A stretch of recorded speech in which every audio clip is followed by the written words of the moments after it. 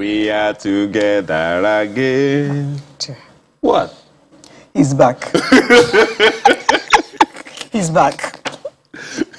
Oh dear. I just say you, you miss me. I mean, it's understandable. I mean, you miss a guy. When you miss a guy, you you know, it's always. I mean, don't worry. Good morning, and thank you for joining us. This is Sunrise, and yes, my crazy partner is back, and my name is Alero Edu. Uh, crazy. What does that make you? I'm Ayo Makinde. Good morning and welcome. Oh, for a second, I thought you forgot your name. Um, no, I don't forget my name. It's my name. Welcome back. Thank you. But I was here last week, only not here with you. I hope you haven't been riding in the Kaduna Abuja rail. Uh, no. Uh, when it happened yesterday, uh, my colleagues and I on Sunrise Daily chatted about it yesterday. Look, uh, it- the, the mere, the shock, the mere fact that, look, we could have been there. Yeah. I mean, for those who have used the road before would say, that could have been me. Well, thankfully, we didn't hear of any injuries No or injury, any fatalities. no fatalities, Thank so God for that. yeah. But it shows the level of desperation of these people who intend to sta- destabilize this country. Hmm. What was that about? Well, it also shows the, the level of need or lacuna in monitoring such things. And it also shows there are so many so many angles to it.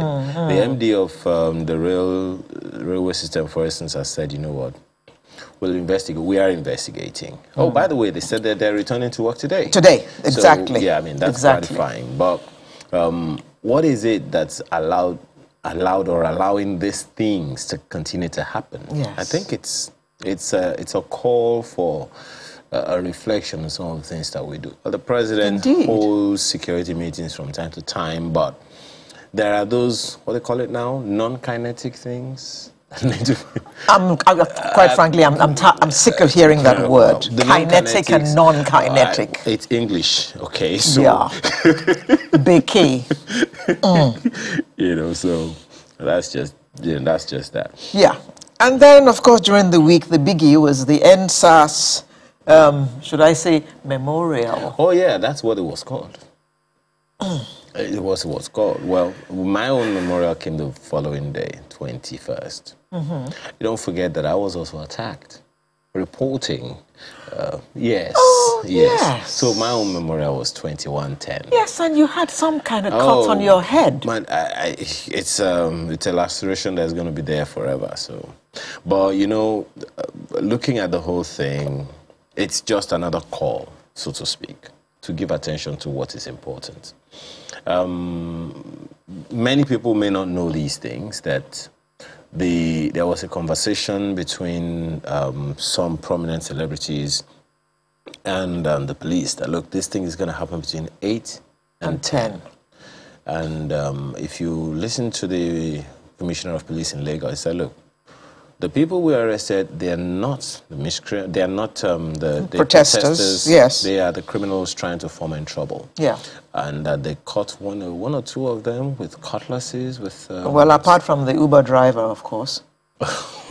so, so, well, Instant celeb.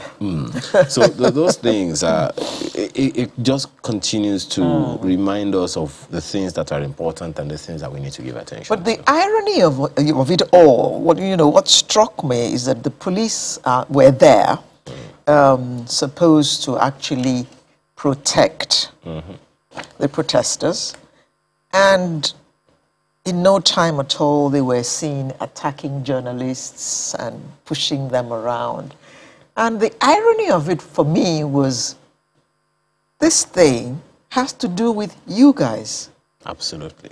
it says EndSARS, but at the same time, it is saying we need the government to pay attention to the welfare of the police so that they can perform their duties better. That, And it is the same police who is attacking you who is fighting their cause. it's a it's a quagmire. it's a quagmire. It's a quagmire. As they say, duh. it's a quagmire because um, the people you are you are protecting have a responsibility to protect the state. You know, including you. including you. You know, they protect themselves as well.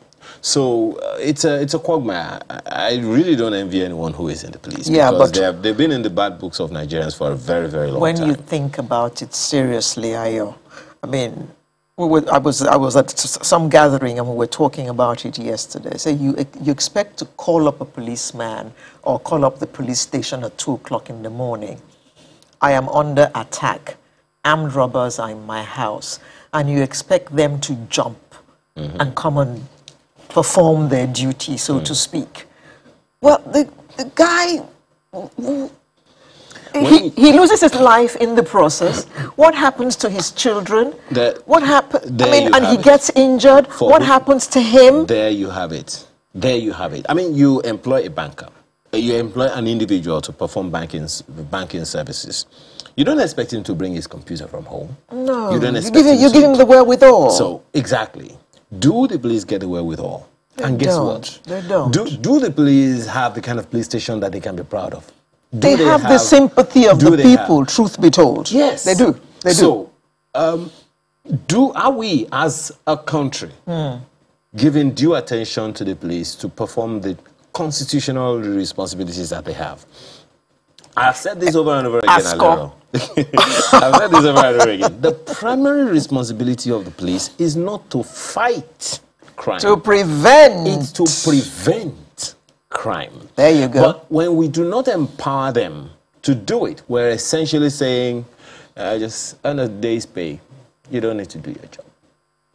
It's sad, but that's the reality. That And is the truth. That is the truth. Then fend for themselves. Gratifying also to know Hmm. that at least the federal government says they are doing stuff in that regard. The IGP came up and said, we can't wait. we really can't wait. No. That's, the, that's the thing. So no matter what it is, no matter how persuasive government is trying to be about this issue, honestly, we're, we can't wait. We're out of time.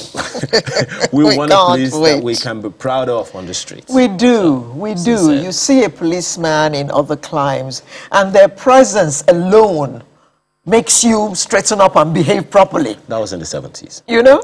That was in the 70s. Oh. Yeah. So uh, now it's time for us to. Um, Okay, all right the then. menu. So, Um, well, we started by talking about that thing that happened uh, on the Abuja Kaduna rail line. So we're going to set our focus on the transport sector and security. Well, and, and right after that, of course, you know that that that's vexed issue of how many are we so we can plan appropriately ahead 2022 population census. And then we'll be talking about the Arise Women's Conference. Or your agricultural development will come next. I What- what's happening with that one. I'm really curious. Well- because it's from there that we build. Okay, don't let me go into it yet. Hold your horses, you'll find out today. What is dyslexia? Uh oh. Understanding the symptoms of dyslexia. Uh, related health issue would be World Polio Day, which is tomorrow. And then we shall close, as is usual, with the Artist of the Week segment. And, um, well, that's all I'm going to say about, about it. You don't want to do whether it's a him Not today. or a shim. Not today. Not today. So, um, do yourself a favor and grab your cup Ca- of uh, Cocoa, cocoa. Someone doesn't have hers. cocoa. See you in just a moment.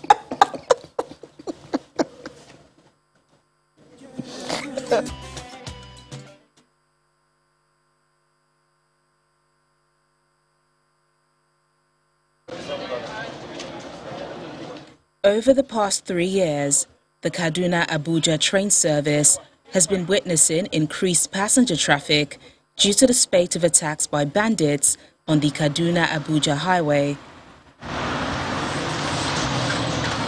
But in recent times, there's been reports of attempted attacks on trains plying the route by suspected bandits, though no casualties have been recorded. On Wednesday night, a passenger train from Abuja to Kaduna was almost forced to derail after the rail line was cut off following an explosion. The incident, which occurred at the Rijana area in Kaduna, also sent fear and panic to the passengers. One of the passengers narrates that a two hour journey took six hours. We left Abuja around 7 p.m. on Wednesday, and um, just approaching Kaduna, about 40 kilometers to Kaduna, between um, uh, Rijana and a village called uh. And then we had a loud sound, bam! And suddenly the train started moving slowly and then it came to abrupt stop. And from there, we've not had anything from the officials until after four hours. And another train came forward, I mean, rather, a locomotive came and pushed us gradually. It took us two hours to get to Kaduna from that point. Meanwhile, daily activities at the Rigasa train station in Kaduna State were suspended on Thursday following the incident. Some of the passengers who had earlier booked their tickets online to Abuja were stranded when they got to the station. The news we are hearing is that either the rail line is vandalized or there is an attack on the rail, you know, uh, a terrorist attack on the rail, rail line. But from the operators of this uh, uh, commission, nobody has addressed anybody. And if you if you came here about two hours ago, you see a lot of people, but now people are leaving one after the other. I've been here since 9:15, 9:15 a.m. this morning. Supposed to go with the 10:35 a.m. train to Abuja. So um, before it was 10.35, they gave us an update that the train has um, technical issues. So we should hold on. And when they get any information, because the network is bad, they'll get back to us, keep our tickets safe. The rise in insecurity on the Kaduna-Abuja highway forced many to abandon the road for the train service, increasing the daily volume of passengers by over 270 percent but with the recent development on the rail lines, the authorities may have to do more to assure passengers of their safety.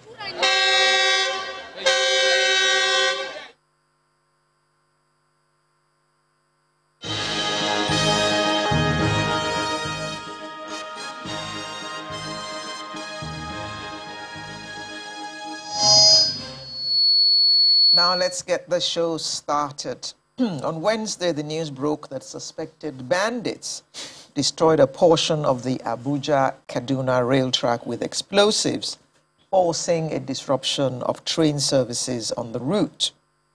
Well, the Nigerian Railway Corporation confirmed and said that explosive damaged the rail track at a spot between Dutse and Rijana, an area that had recorded numerous bandits attacks along this Kaduna Abuja highway. Hmm. So it is the same area where people who were even on the roads were attacked. So how is it that our security people were not aware that even the rail was in danger at that particular location? These and many more questions we're going to look for answers to this morning with our panel uh, consisting of uh, Professor Charles Asenime, who is the Dean of the School of Transport and Logistics at the Lagos State University. Good morning, Prof. Thank you very much. Sir. We also have a security expert joining us via Zoom, Colonel Yomi Dare, retired. Good morning, Colonel. Good morning. Good morning. Good morning to everyone in the studio. Good morning, Nigerians. Very pleased uh, to be here today. Thank you. We also expect um, another security expert, Mr. Oladende Ario. I'm sure he's stuck in traffic out there because the traffic on the high, on the expressway this morning is, um, as they say, you know, get part two. Or, as they say, Itairapa. Itairapa. Itairapa. So, Professor. Yes, ma'am. Um, maybe you got a few more details from that report which we played just now. Yeah. Now, so that particular part of the highway and the railway is, should I use the word notorious? It is. So, how come this happened? Well, it could happen because uh, we are still in the space called Nigeria where insecurity is high. Now, that Abuja, uh, Abuja traffic corridor, Abuja Kaduna traffic corridor, has been notorious for attacks. Before this time, it was... Um, Whether by rail or by road? By road, rail, even those walking on the road. Before this time, it was um, potholes we were experiencing. Mm -hmm. Later, the federal government uh, resurfaced the road, dualized it properly, and it was okay. So people passed. But when the, this banditry thing uh, increased, the attacks, uh, transport is a soft target. you go for people who are not um, armed, who are defenseless. You attack them, pick whatever they want to pick. Now, they've seen that uh, the traffic of uh, passengers on that road using road has kind of decreased a bit. Now it's rail. Everybody's going on the rail because it's safer, more comfortable. Then they now decide to attack the rail. I think what they're just trying to do, apart from the attack, is to put fear in people. So that if they don't use the, the rail again, maybe they'll go back to the road. Or just stop commuting between Kaduna and Abuja. But, it not, but it's not possible. So it happens everywhere. But this just uh, the, maybe the it's not actually the first time. Mm. The Itakpe uh, uh, Warri rail was vandalized.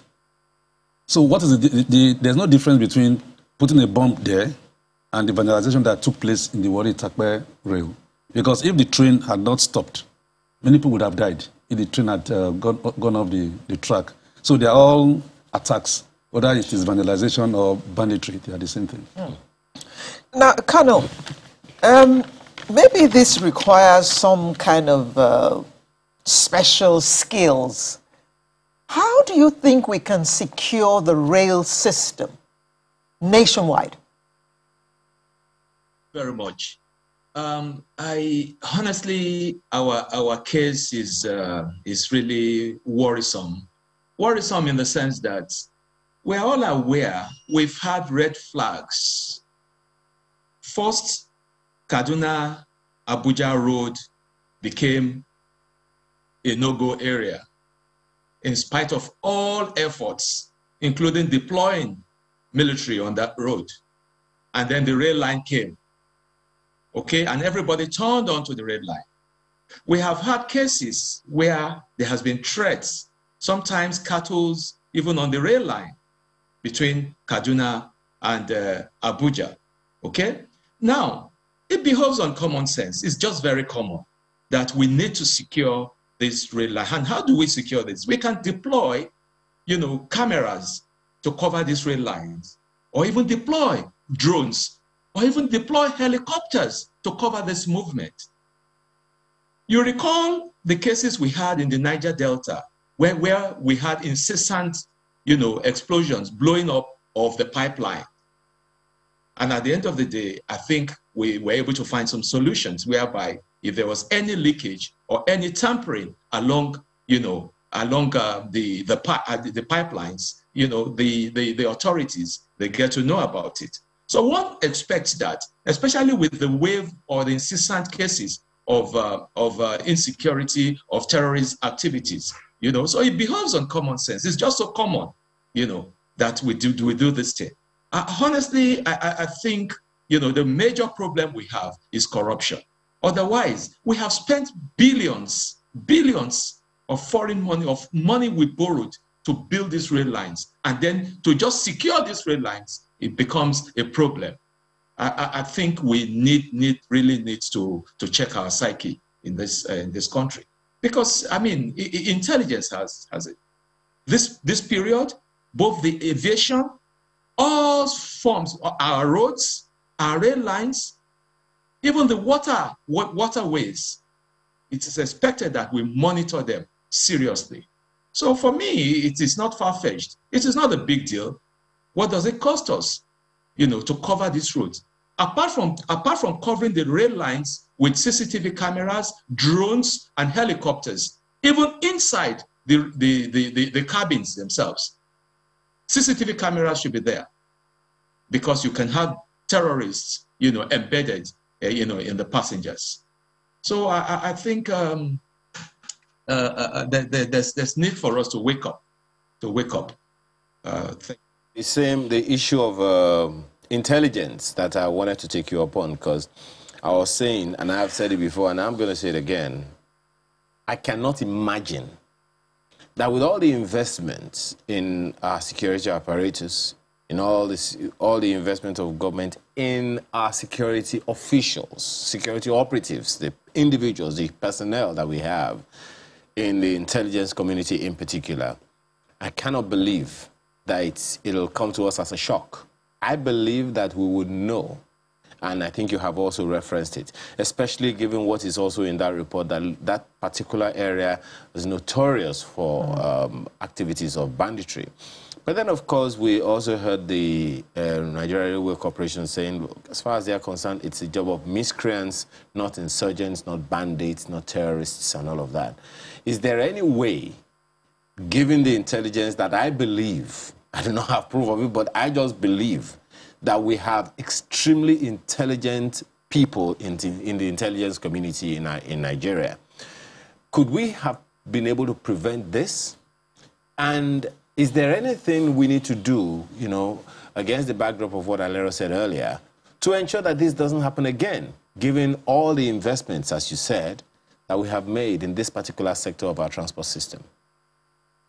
Yes, uh, Ayo, honestly, just like you said, I mean, as it stands, almost all of us, we know we have one or two things to say about security. It is, it is not rocket science. It is not rocket science like you like you alluded, we have very, very brilliant people in our security sector here. What stops us? For example, once the once the the, the, the, the train is on motion between Kaduna, I mean, sorry, between Abuja and Kaduna or vice versa, let there be coverage of their tracks. Worst case scenario, you deploy helicopters to move along with this with these uh, uh, trains. And aside that, you know, like I said, even drones can also cover their movement. And then along the rail, uh, the, the, the, the, railways too, you know, you have control rooms wherein if anything untoward is observed, it can be reported. I cannot imagine, look at these poor passengers. They were there for four hours, for four hours before help even came. At the end of the day, a locomotion came to tow them, and it took the locomotion two hours to tow them to, to, to, to Kaduna. So you can imagine, you know, I mean, you, you could you could have cases, so many cases, so many things could have happened. I, am sure that if we even look deeply into this, maybe maybe we must have recorded you know some casualties in terms of uh, loss of lives. You know, probably due to health condition or due to uh, some some some some phobic uh, uh, uh, actions. You know, so so like like like like like I opined, you know, it's it's it's not something that is so difficult for us. But I do what I make bold to tell you that our major problem and our major problem here is is corruption, corruption, because we can afford this. We can afford it. Let me let me ask Prof uh, this this particular question. Um, you are in this sector, or at least you are an academic in this sector, so um, perhaps sometimes some of these things are just too much talk and um, maybe there are some practical things that we should have done or we should do going forward. What are some of those, and I'm sure you may want to react to a thing or two that uh, Colonel also said, but what are yeah. some of those things that you think we should engage, especially in this sector? We're talking about the entire transport system exactly. value chain, but for this one particularly, what do you think is a, a, a lacuna that we need to quickly fill? Well, I think some of the lacuna, uh, the lacuna has been mentioned by the Colonel. We don't just seem to be uh, serious about things. I mean, we built this uh, big infrastructure the Abuja Kaduna Rail Corridor, or the traffic corridor, is one of the busiest mm. in terms of uh, traffic movement in the country, apart from the Lagos Ibadan axis to, uh, to Benin. So if we have the infrastructure, we should be able to get security on it. Now look at what happened in the Niger Delta that you mentioned too, when pipelines were being blown up here and there. They, get, they, they have a way, they, they, they uh, devised a way to ensure that the pipelines are safe. They put cameras the pigging system and everything. So, and the pipeline is even more uh, more complex than what we have. This is just surface rail mm. that can be covered by cameras, that can be covered by even there can be patrols there. They are not miscreants, the people that did it. This is, is terrorism, it's act of terrorism. Yes, I was going to ask uh, Colonel Dare if uh, miscreants, miscreants have knowledge of, of, uh, of, explosives. of, explosives. and no, all that. They're, they're yes. not miscreants, these are terrorists. What they want to do is to kill people, to rob people, because to blow that, those uh, uh, the the lines are not just ordinary metal; they are heavy steel. So for you to blow it up, you must have very big explosive. And miscreants don't do that. These are terrorist uh, uh activities. They, they just, even the bandits they call bandits, bandits are terrorists. I mean, you don't just go about blowing pipe, uh, blowing uh, rail lines. What do you want to achieve? There must be something they want to achieve which has not come out to the open. Hmm. But coming to talk about uh, transport and, um, and crime or transport-related crime, it happens uh, both on road, you know. Maybe we'll talk about that later. But hmm. these people here that did this, they are not miscreants. On the same issue, yes. um, is it a global, is, is this something of global standard to put security apparatus on transport routes, such as rail tracks in particular, given that what we're talking about? Or is it just peculiar because we have a security challenge? No, it, it's, it's global, it's global uh, standard. When you, if you travel, uh, if you even travel the Baltimore, all those corridor by the east side in, in America, those rail lines are covered. If you travel, if you travel even on road from, uh, if you're going from London, if you're going to Manchester, you will see cameras all the way. It's covered. So it's not, it's not peculiar to Nigeria, but it becomes more, uh, uh, more worrisome because the particular situation we find ourselves. Mm. Every day we hear of bandit. There's no day you tune uh, the, the, television stations or any station that you don't hear 10 killed, 30 killed is a good every day. So it becomes more peculiar. And if we don't stop it now, they'll be more emboldened to attack other rail lines. Remember, the Kaduna, uh, Kaduna Abuja is not the only rail line. Mm. Because the peculiarity of that um, mm. uh, place, because many people want to uh, move from Abuja to Kaduna. It's not the only rail line. They can keep attacking. If we leave this one on, uh, they must go after those who did those things mm. and get them. I don't even know why we keep uh, playing games with people like that. There's some countries you do that, they execute you. Because you are going to kill people too. Yeah. So we, don't, we shouldn't, it's not something we just pamper and just, okay, it's just one of those attacks. It's not just one of those attacks. Be, given that... Sabotage. It's sabotage, big, big time, both economic and human, it's sabotage. Okay. Uh, let me ask uh, Colonel Dare, yes. because I don't want to put you on the spot being, being a security thing. Given that, uh, Colonel, that this issue of uh, this particular case on our hands is not happening for the first time in that area from what, what we have gathered. Uh, it is something that's been on, it's a, a, an area notorious for such activities. Is there any way of assuming or alluding to the fact that maybe there is some complicity with the communities or that the communities could have done some good by um, giving information to security operatives? Well, thank you very much, Ayo. I think that's a very, very important question you have raised here. Uh, you recall when uh, the road became so bad, so notorious, so impossible for people. It was suspected that the, the, uh, the communities along that uh, road, along the axis of uh, Kaduna uh, Abuja Road, where we, you know, were kind of uh, uh, compromising and you know co collaborating with with the, the, criminals to perpetuate the, the, all the all the crimes on that, that, that road. And it was even suggested that they, they, you know, they should be raided and if possible relocate them, you know, from, from, from those, those spots, you know. But nothing has been done. Nothing has been done. You know, the same, the same way, uh, of course, you know, anywhere you have a road, whether, whether rail, rail, railroad or, or, or, or road itself, you know, I mean, anywhere you have um, passage of uh, people, you know, communities will move in there because it's an opportunity, it's an avenue for, for them to, to, to trade and make uh, some, some money. So definitely you cannot, you cannot rule out this. But the point right here is that we, we, we, we, we, must have, we must be proactive. We must step up intelligence. We must be able to identify the people that are involved. You know, we must be able to do that. And this is not too, too, too much for us to do. But the point is that we are just so laid back we're so complacent and it's just business as usual until something happens and then we'll start running helter skelter. You know, I mean, look at what happened uh, the the uh, Warri Itakpe Road. You know, Warri Warri Itakpe Road. People were arrested. In fact, some some some foreigners were even amongst those that, that were arrested. But as we speak, no one has had anything. I don't know whether you have had, but I haven't had anything. What has become of this?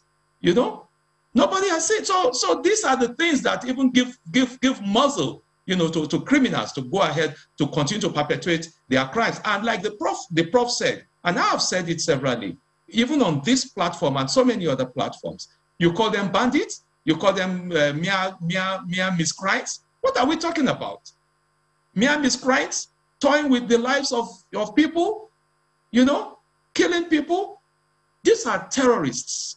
As far as I'm concerned, they should be prosecuted, you know, and, and you, I mean, these are just simple acts of terrorism, nothing more. Thank you.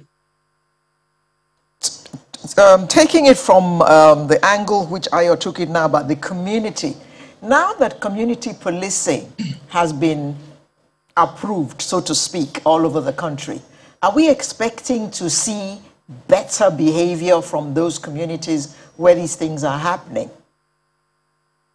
Well, honestly, I think this is one of the myths of the community policing that we're talking about. But right now, we, we approval is just on paper. We haven't seen anything, you know, uh, practical. We haven't seen it in practice. And the earlier we start this community policing, the better for us. The better for us because everyone will be involved. All the community heads, all the ward heads, they will be involved in security. Okay. Okay. Uh, Prof, um, still on the communities, and I'm speaking from your own perspective, um, some research, um, theories, and all. What kind of responsibility uh, would communities that through which uh, transportation uh, facilities pass, roads, rails, what are the responsibilities that they have in the scheme of things, the communities? Yeah, if you look at, uh, thank you very much, Ayo. If you look at um, transport and development, when transport, when a transport uh, infrastructure passes through a community, the community develops. You look at the Ore road area, that express was not originally inside the town. No, it was inside the town. They now relocated outside the town, like bypassing the town. The town now grew to meet the express. The Benin bypass is doing the same thing right now. The, Benin, uh, the, uh, the uh, city of Benin is growing to meet the express. So if um, uh, a rail infrastructure or any infrastructure at all passes through your community, it is your responsibility as a community to ensure that it is safe. Preserve. Because if, it, if you don't preserve it, if you don't get it safe, you will not be able to do business. Now, Ore is known, if you're traveling from um, Onitsha, they'll say, we'll eat at Ore.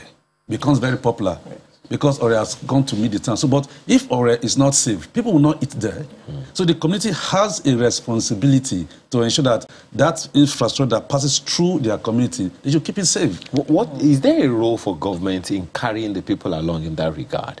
Because you know, mm-hmm. people may not know. Don't also forget. Mm-hmm. I'm sorry, uh, it's security related, but yes.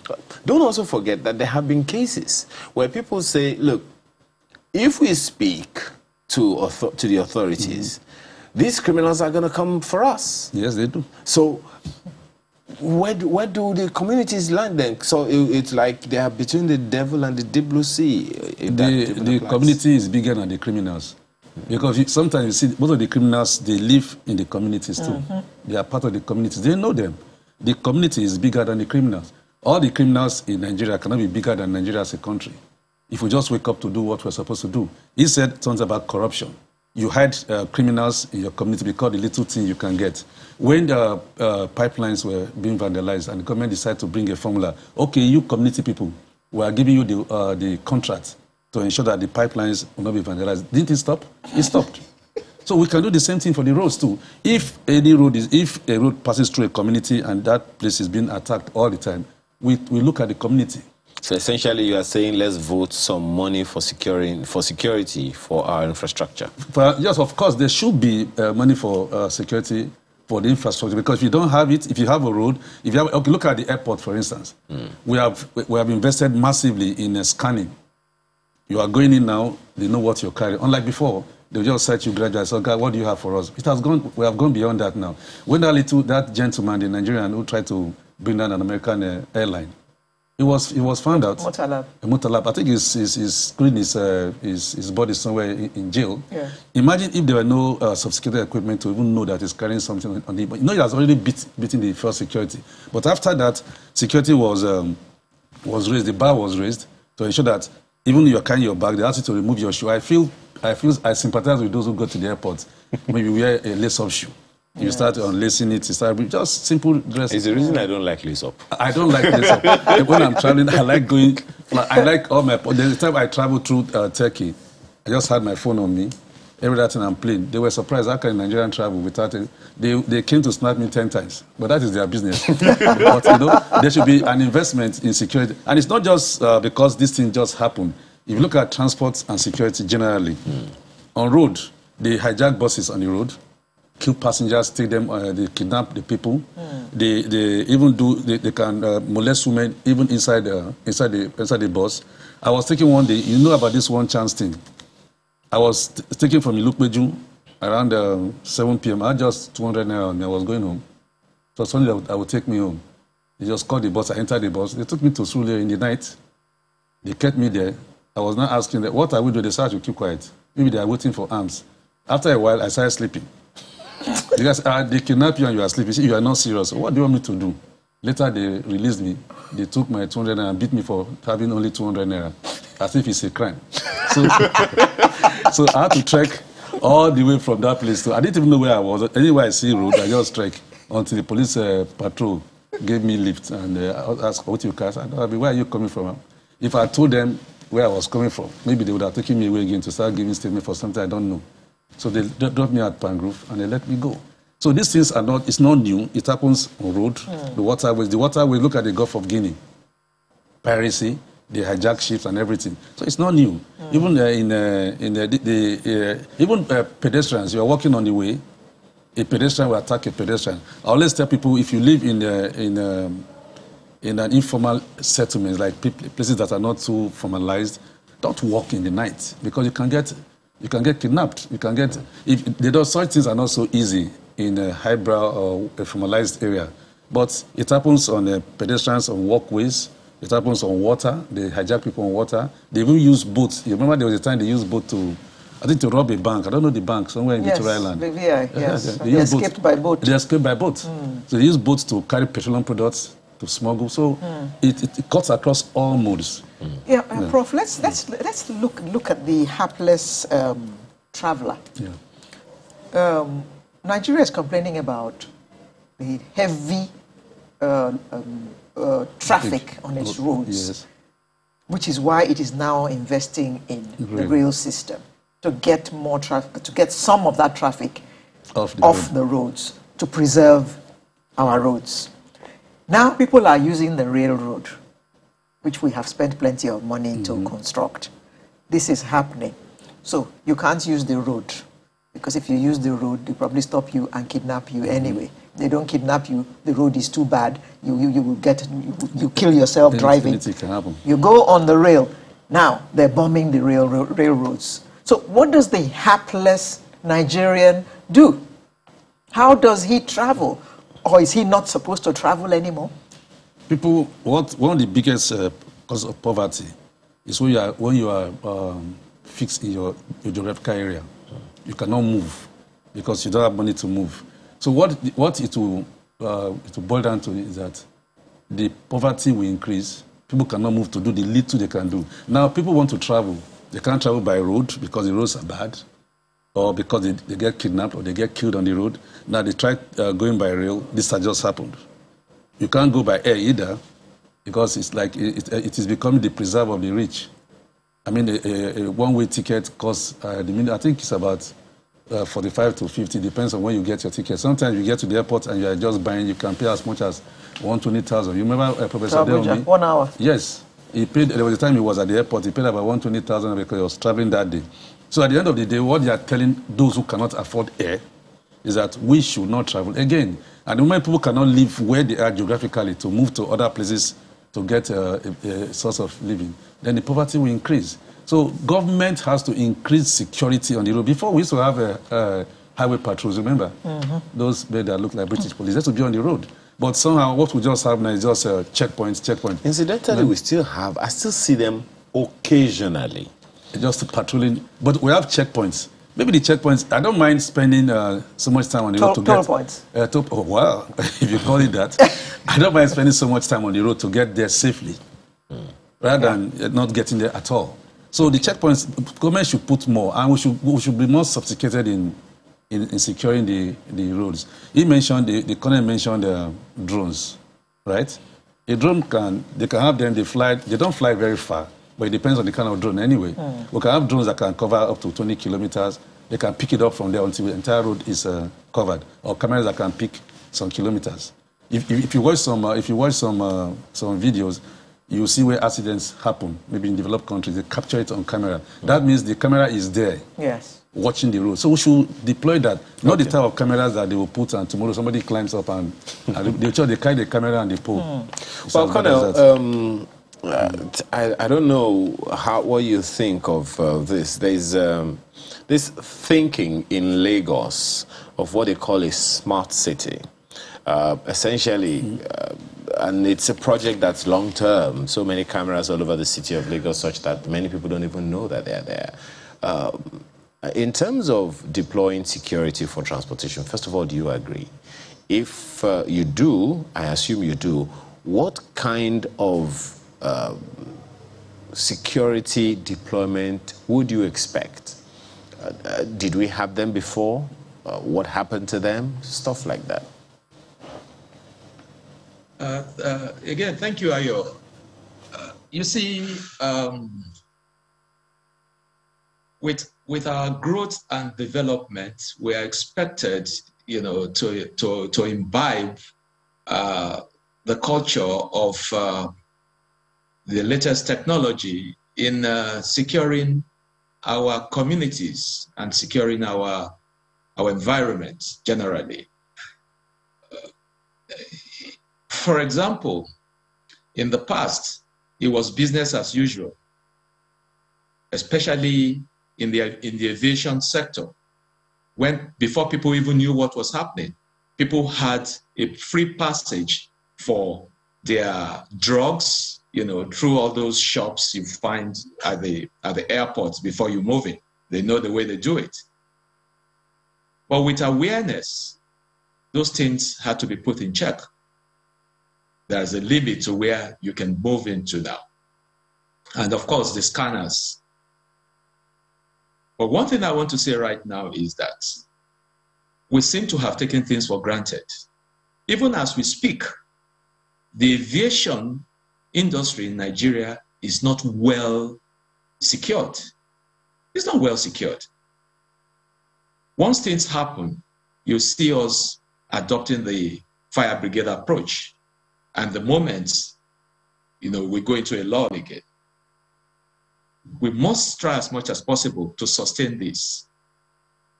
It is not out of the ordinary. It's something that we can afford. There's no big deal about it the aviation industry, we need to properly, you know, cover everywhere with CCTV cameras. Like you said, almost everywhere, some places in Lagos now, you find CCTV cameras. But who is monitoring these cameras? Are these cameras working? Where are the control rooms? Where are the control rooms?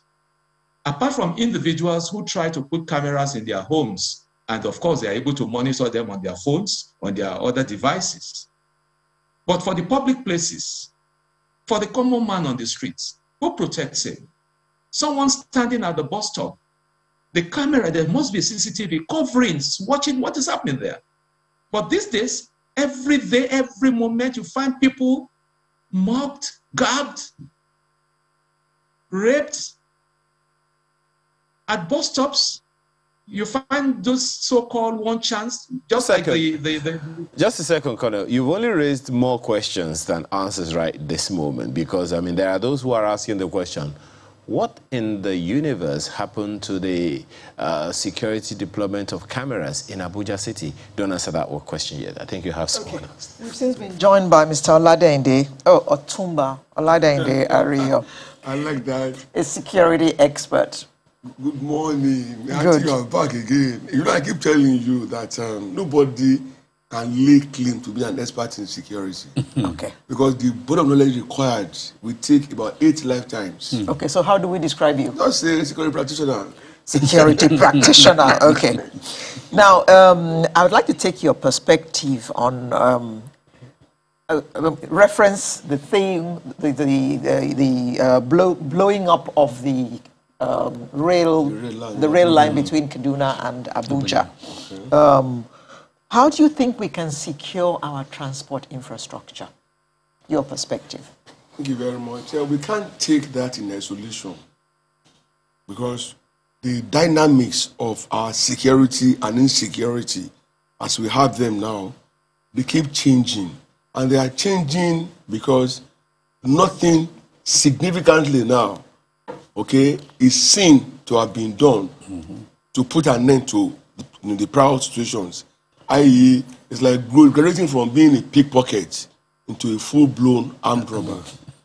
yeah, because well, they, and I'm, again, I'm, I'm, sorry, Mr. Rio. I'm I'm I'm befuddled I will by the explain. fact that no, no, no. I mean, it, it's it's it's it's a, it's a, it's an unfortunate reality. Yeah, but that that's there the are so many things that we have we could have done that we haven't done. Absolutely. For you, is there a game plan?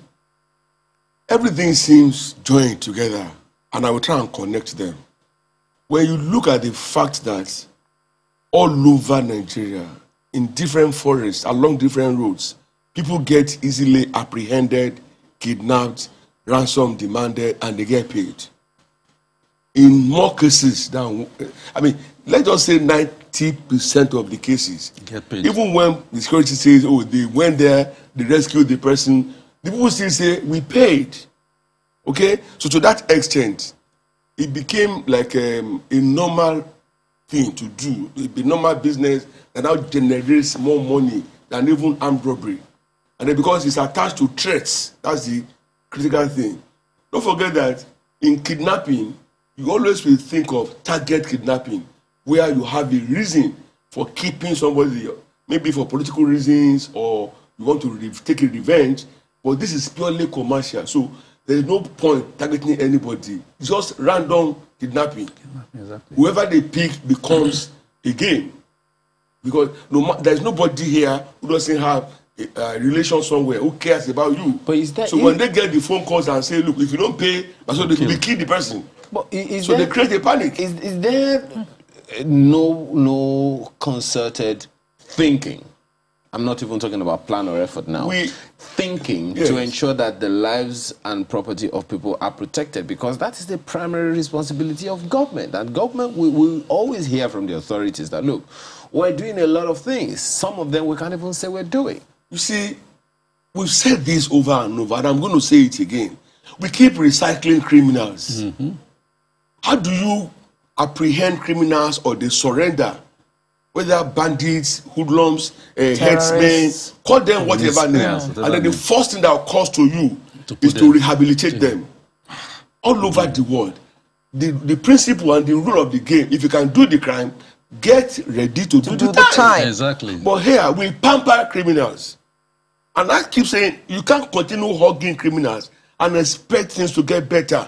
People now know that oh they can do this thing and Yes, get away with yeah, it. exactly. And because of the sectional nature of all of these things, it becomes a lot more bad. Okay? Because I, I can't understand even the victims of terrorism are neglected. And attention is now focused On the on criminals. so-called repentant or repentant uh, uh, criminals, Criminals. or terrorists. It doesn't work that way. Besides, we now started playing with games, with the words. From terrorists, we now had bandits, we now had hoodlums, and all of that. For as long as they have a common uh, thread among them, that is crime. For me, they are all terrorists. They all kill, they all maim, they all rape, they all extort, they all destroy their lives and properties. They destroy what people have spent their years to gather. So that gives people the new or the fresh impetus, okay, to continue. We've had that some of those people who are who are so-called repented, I mean, they have been repented, they went back again. Okay, now uh, let, let me. The gentleman before you have spoken a lot about a number of you know things, especially as concerning the transport sector. Prof here was talking about um, insecurity on the waterways, and uh, there are a number of people who would always reference what happens to them when they travel between Port Harcourt and Bonny Island, right. and and uh, the, the the issue, the question there for me is, is it so intractable? That we can't nip.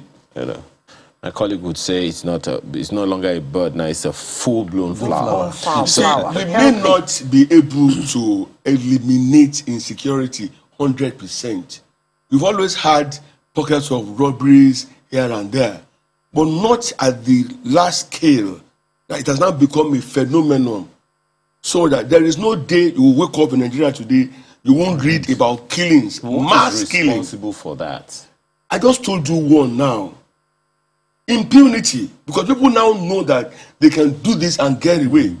Again, the security system too is compromised. In what way? There there are criminals that have been apprehended. If they pay the right price, they get released. Some go, some get to position Do you level. have this on good Prof, authority? after investigation, they are Do you taken have to. this on good authority? But that- these are things we read about in papers every day. Mm-hmm. They get to the court, the lawyer gets them released on bail, and before you know, they are back in business. Is that to say that the laws are weak or there are a lot of lacunas being taken advantage of? Maybe I've not told you before. We need to reinvent Nigeria. And by reinventing, I mean every organ that make up the country called Nigeria, both from the individual level, the community, the state, the law, the security, and everyone, we need to be reinvented. Okay. Well, so that we Colonel- can begin to have a new thinking, a new orientation that will give us a new country. Well, Colonel, you, you just listened to uh, Mr. Aria talk about the role uh, the, of uh, security operatives and that sometimes some of them are compromised. Do you agree with him? I do agree with him. I do agree with him. So, like we said, there's need for us to to really check ourselves. You know, When, when you say when you say security operatives are compromised, don't forget that it, it borders on their morale. Okay, to say that, that they are compromised. Well, maybe some of them, but um, to use that global word, I mean, you are in the sector, so you would know what that could do to the morale of the people. So when you say Well, compromise, well- what exactly are you well- talking about? Well, I, uh, I will refuse to be put on the spot. In every organization, you do have some bad eggs. So there's no proof, you, just like uh, the Otunba said, you know, there, you can't have a situation of, uh, you know, where you not have uh, security threats, okay? But the point remains that we must ensure that uh, we, we, we put things, you know, uh, to, to check these, uh, these uh, threats, okay? And part of it is to ensure that there's good uh, intelligence gathering. And then when red flags are raised or when red, where red, flags are seen, we must, you know, be proactive. We must not wait until things happen before we start, you know, do, uh, deploying the fire brigade approach, you know. So whether we like it or not, I mean, we have had cases where where especially in the in the in the northeast flanks now, where soldiers have been uh, have been tried, you know, for one complicity or the other. So I am not saying all. Of course, that is my constituency, and I stand any day to defend my constituency. But in every organization, in every, uh, uh, whether you call it the police, whether the paramilitary, in whether the military itself, you know, sometimes you find people, you find fifth columnists there, you find people who are compromised, you know. So there's need to fish them out and deal with them accordingly. And most importantly, again, is the fact that, you know, he, he talked about, I mean, rehabilitation of criminals. I do agree with him. I do agree with him. If if if if you if you are ready, if you are in the in the crime, you must be be ready to to pay the price. You know, it's not a situation whereby you know you have committed a crime and then somebody goes in there and uh, you know starts uh, trying to defend what is not defendable. That, uh, and again, that comes to the issue of uh, of uh, of uh, of branding people, you know, calling them miscreants, calling them bandits, calling them uh, herdsmen, you know, and these are people who are committing heinous crimes, killing and maiming people. As far as I'm concerned, these are terrorists, and the same law should apply to all. The same law should apply to them, and that brings me to the issue of. Uh, you know all these uh, uh, uh, uh, cases of uh, of people, you know, militants here and there. In, as far as I'm concerned, for the purpose of security of our nation at this point in time, every militant group must be proscribed, must be proscribed. And if anyone raises their heads, if anyone threatens the peace of this nation, they should be dealt with accordingly. That's my take. Thank you.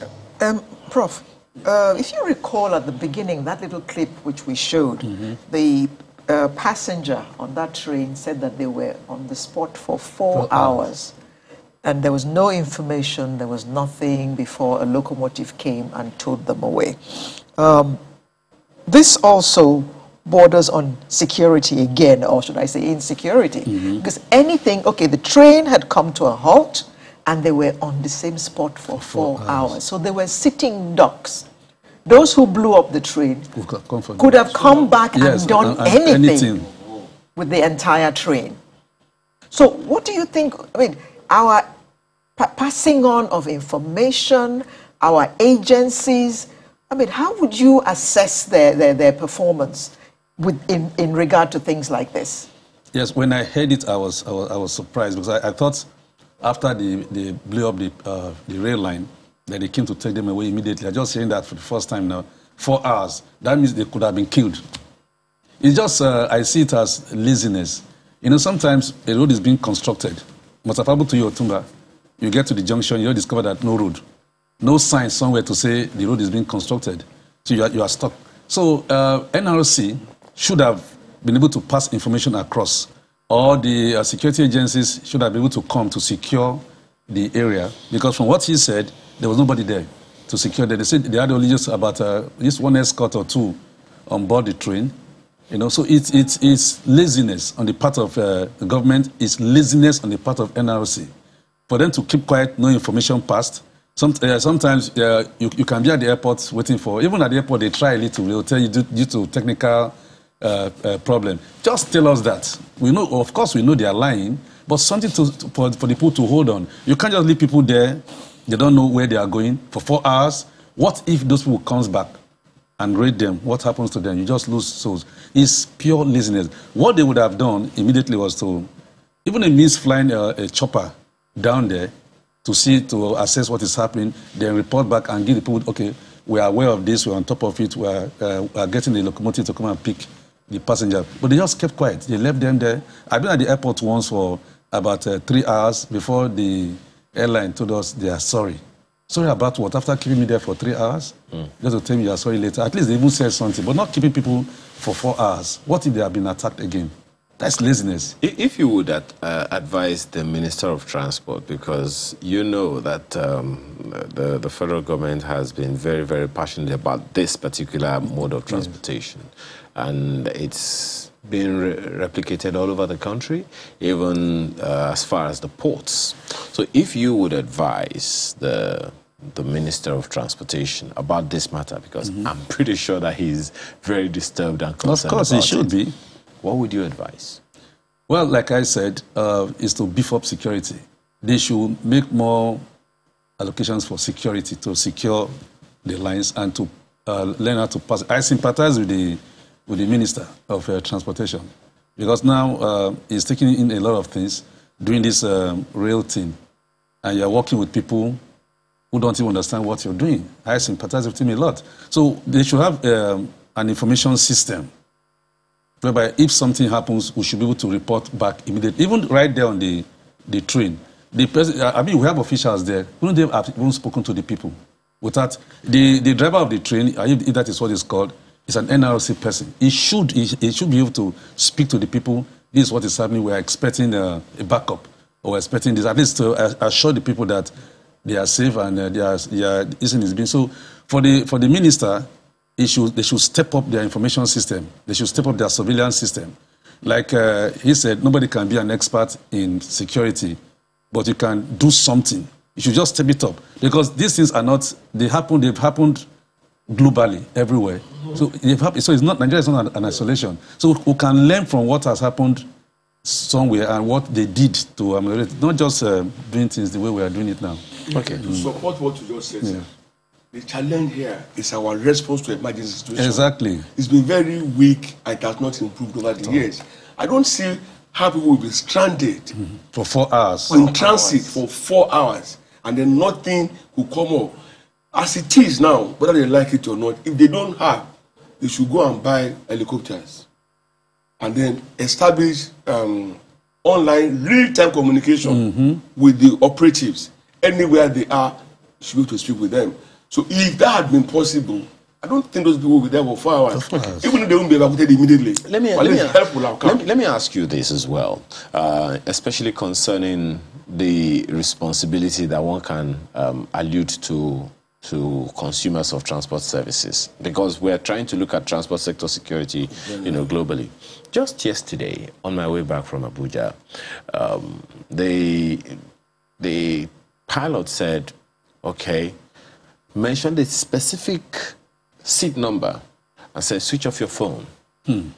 And after about uh, three to five minutes, the fellow said, the, the pilot said again, well, since this fellow has refused to switch off his phone, we're going to go back to the tarmac. We had been delayed for roughly six hours. Six ah. hours. Before that time. So we're oh, on the dear. aboard already, and it's taken another hour on the aircraft, and this fellow refused to switch off his phone. Why? Either he's, he's not aware they're I- comfortable. I he have plan to make a call during the flight? Okay. Oh, Unfortunately, I may not be able to mention those who are involved. Um, was al- the- along with that line, was the bank you would- ju- just a second. Along with that, you would also tell us what the attitude of transport service consumers, whether it's air, rail, road, or water, what should our atti- attitude be? let me we were leaving abuja for lagos if i remember. And this very top southwest political uh, um, uh, godfather was using his phone and continuously they were announcing please Switch off your phone. and then fasten your seatbelt. But the man was unfazed he wasn't bothered. Those of us who were nearby you know yoruba now we respect people so much. Baba please we were pleading until a bank md got up and snatched the phone Yes, from him and said look right. if you want to commit suicide go to your outside." family not in this plane I like that. yes he did that physically i Yes. wish i can mention the name but No, i mean it, it was it was in the media The, the, you know the, the, the, the pilot said, if this man doesn't switch Yeah, off his phone, so- we're going to so return to he the jacked tarmac the phone from and from this man, him. and then we now had so, uh, I mean, uh, some measure of a, a, a peace, and then the, the plane took off. That should never have happened. We're not talking of illiterates now. We're talking of elites, people who have traveled the world. And This they is the know what is Nigerian. available. Do you know who I am? Yes, but you see the mentality of do you, you know, know who who I are am? you? You know who I am? That you must now sub, subject all of And us to kill needless everybody. danger and possible fatality. You Yes. just reminded me of a joke I, Kill I us. read. The Yeah. one someone said, "Do you know who I am?" And um, the service provider just made put took a megaphone and said, "Does anyone have help here? There's this man here who, says he doesn't know know, who he he is." is. You see? And so if you can help him to know who he is, now, if you bring it down, if you see Okada passenger, when the rider dri- rides in the crazy version, He abused and the driver. you the motorist now, tries to like correct them, the passenger the passenger- will be all over you, calling you names, cursing you, and abusing you. Now, talking about vehicles, well, uh, by the mercies of God, I have not been a regular user of uh, commercial vehicles, but the few times I've had to use commercial vehicles, you see people who are so much in a hurry. I've been encouraging the driver Speed, to either brother. take one way or do whatever is possible to beat the traffic, forgetting that his life is also being endangered in case anything happens. Okay? And you see this at every point of our lives. We are a people in a hurry, always in a hurry. That's why I said we need to reinvent this country. People need to be taught how to live again and live like human beings.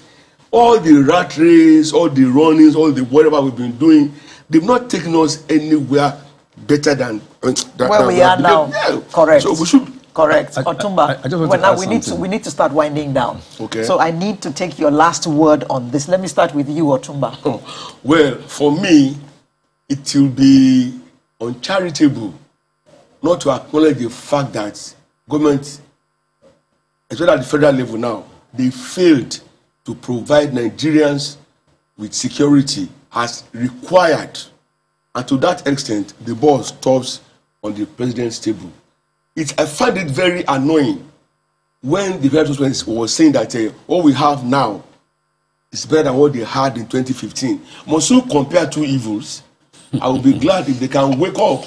yes, they, I mean, they, they should wake up and know that a lot of us do not have any country to call our own except Nigeria. Nigeria. Okay. So we must make it work. Professor. Yes, uh, because my constituency now, I will advise the the transport constituency, especially it's being headed by the minister, Rotimi Amaechi, to step up information and to, to demand that uh, security should be provided on every facility that, that uh, people move in. Because that's the only way we can move and uh, reduce this issue of, uh, of poverty in the country. Mm. Thank you. Uh, Colonel? Well, uh, Alero, uh, Ayo, thank you very much. Uh, my last word here is that uh, we must step up our game. The problem we have in terms of insecurity, it is not the, the lack of ideas or lack of the resources, but it is the complacency of the elites who, in most cases, are comfortable. They are in their comfort zones. They have all the retinue of security around them. So, so they don't they don't even see what is happening to the common man on the street. I think we need to change our attitude. Thank you very much. Thank you very much, uh, Colonel Yomi Dare, retired uh, security expert who joined us via Zoom. And we had uh, two other experts in the studio. Well, practitioners. Otunba Oladeinde Ariyo. Agree with me. and uh, Professor too. Charles Asenime, who's the Dean, School of Transport and Logistics over at LASU. Thank you very Thank much you. for Thank coming. you very much for calling. And just to, to give you a bit of nostalgia, in closing of this segment, I remember when I was little, when we would travel to the Midwest, we would stop at Akure, park the car, put out mats and actually have a picnic. Yes. That was lunch, and then you continued your trip.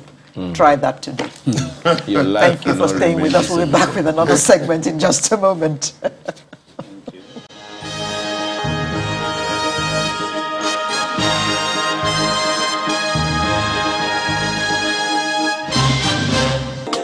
Uh, you must have heard about the Arise Walk and the Arise Conference. We spoke about the walk two weeks ago, if you recall, and um, I hope that you actually took part in the walk.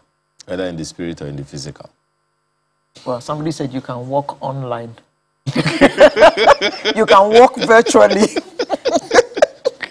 well, today they've come to tell us about the other part of the program, which is the Arise Women's Conference. It's my pleasure to welcome um, a committee member of uh, the Arise Women team, Mr. Yinka. I was wondering. Oh, God. I, I understand. Um, Yinka Alumna. Almona. Al, Almona. Thank you very much. Yinka Almona. Good morning. Thank you. And we have the media executive, Yemi Musie. Good morning. Good morning, ma'am. Thank you very much for joining us this morning. Thank you for having us. Now, let me begin with you, okay. Mrs. Almona. Yes, yes. Um, this program has been going on for quite a while. I think about 13 years. 13 years but now. Before you go okay. there, before you go there, can we review the walk of uh, two weeks ago? Has that happened? Yes, yes. it did. How, how did it go? It went well. Like, uh, because of the season we're in, Okay. Because COVID of the yes. Instead of having one uh, movement altogether, mm. what we had was clusters. Okay. Then we had meeting points. Usually, what we do is we meet at Muri Okunola Park, then we take the walk together. But this, in the last two years, last year and this year, what we decided to do was have clusters in different areas of the country, not just Lagos. Within Lagos, we had Surulere, Ikeja, yes. From what we were told. Yes, all over the world. Over the we world. had Switzerland, we have Mauritius, we had UK, Maryland, Houston, all over the world. Maryland, now, Ikeja. Oh, Maryland, sorry. Maryland in the US, yes. Look, look. Then we then we had clusters with first ladies coming in to build their own clusters as well. Okay. So we had virtual um, programming where we could see what was going on everywhere. What People was the were turnout like? It was beautiful. As usual. Surulere, which was my cluster, was quite overwhelming. It was overwhelming. Hmm. Yes. And how did you contend with the the issue you mentioned earlier, the COVID? Uh, we had mentioned that okay, we'll be working together. Bring. We had safety kits. Mm. People had on their mask. then social distancing as usual. So when we had to sit down together, we had that set up in such a way that people were not really Clustered. uh, clustered together. Okay. Because after the walk, we came back to a meeting point in all the clusters, sat down, had time together. The there were more expensive ones. People took themselves out for breakfast after the after the After the walk, walk. but we made preparation for healthy food like snacks, uh, you know, uh, fruits and drinks.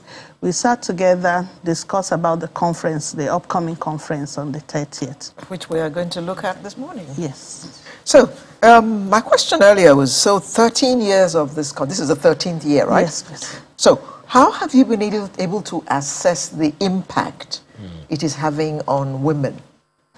We have records, and um, it's there for anybody to check because we decided that we can't do this. It actually started as something small 13 years ago. I remember that it was on uh, Dr. Siju's, we call it the little round table in our office, and she called about nine of us. Please come and partner with me.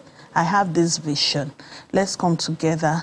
People are hungry. You know, women have been have been um, they are demoralized. And this when you empower a woman you know that you've empowered a nation.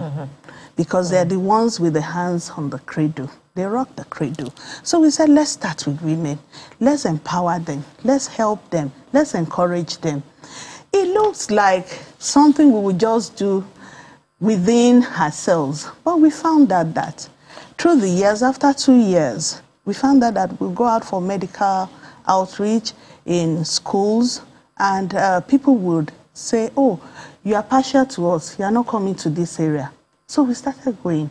And in the course of going, we found out that, oh, renting stuff to use was getting very expensive. So we, she said, why don't we get our own ambulance? That, why don't we get our own mobile clinic? When she would come up with those plans, you know, sometimes we look at it and feel that, where are we going to get all this money from? But she had a dream, she had a vision, and she was able to ride with it. And by the grace of God, we've, we've gone so far. And um, the mobile clinic came to be. We have six other ambulances that when we need to go out, we go out with all of them.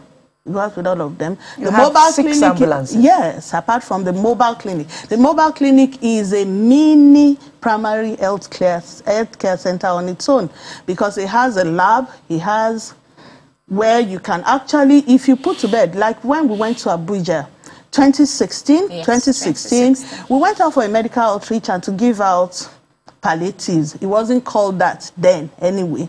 We were doing that, and a lady went into labor. And we're thinking, oh, maybe the ambulance is there. We said, no, but we can actually have the baby here. Uh-oh. Yeah, she had the baby It there. was in an yes. IDP camp in Abuja. Yes, yes. She had the baby there. And we said, okay, this is our rice baby. This is our baby. So till tomorrow, we're still looking out for that baby. We had to empower the woman herself. And when we saw that, empowering a woman and the husband is really not doing anything, you need to empower the husband as well. So that's how we got into that. And in the course of reaching out to her, we discovered her village. And we decided to adopt that village. I think we'll come to that later. Have I answered your question? Well, that, that that question has been more than sufficiently answered. Um, so the next conference, the conference is, is coming up really uh, soon. What's the theme this year, and what's the objective? Thank you very much. The theme for this year's conference is Revive. And um, everybody will, um, will remember that 2020 was the year of the pandemic. It, it brought a lot of despair, hopelessness, and all that. So the theme Revive is really to bring people out of their despair, their hopelessness. It is for them to be healthy again, to go back to work. We are putting more women to work with this theme. We want them to go back. So many economics plunged into recession as well. So the theme Revive is actually for people to, whatever you've gone through in the past year, it's just for you to go revitalize yourself and make sure that you do whatever is sustainable for the future. So, what, what then would you say that the theme hopes to achieve? Uh, what, what do you think it will do to the development of our nation post COVID? Thank you very much. Um, the Arise model itself, we call it, um, Dr. Siju Iluyomade calls it um, the Arise ideology. We address um, 12 out of the 17 SDG goals. The, we address education, empowerment, leadership, mentorship, health, and all of that.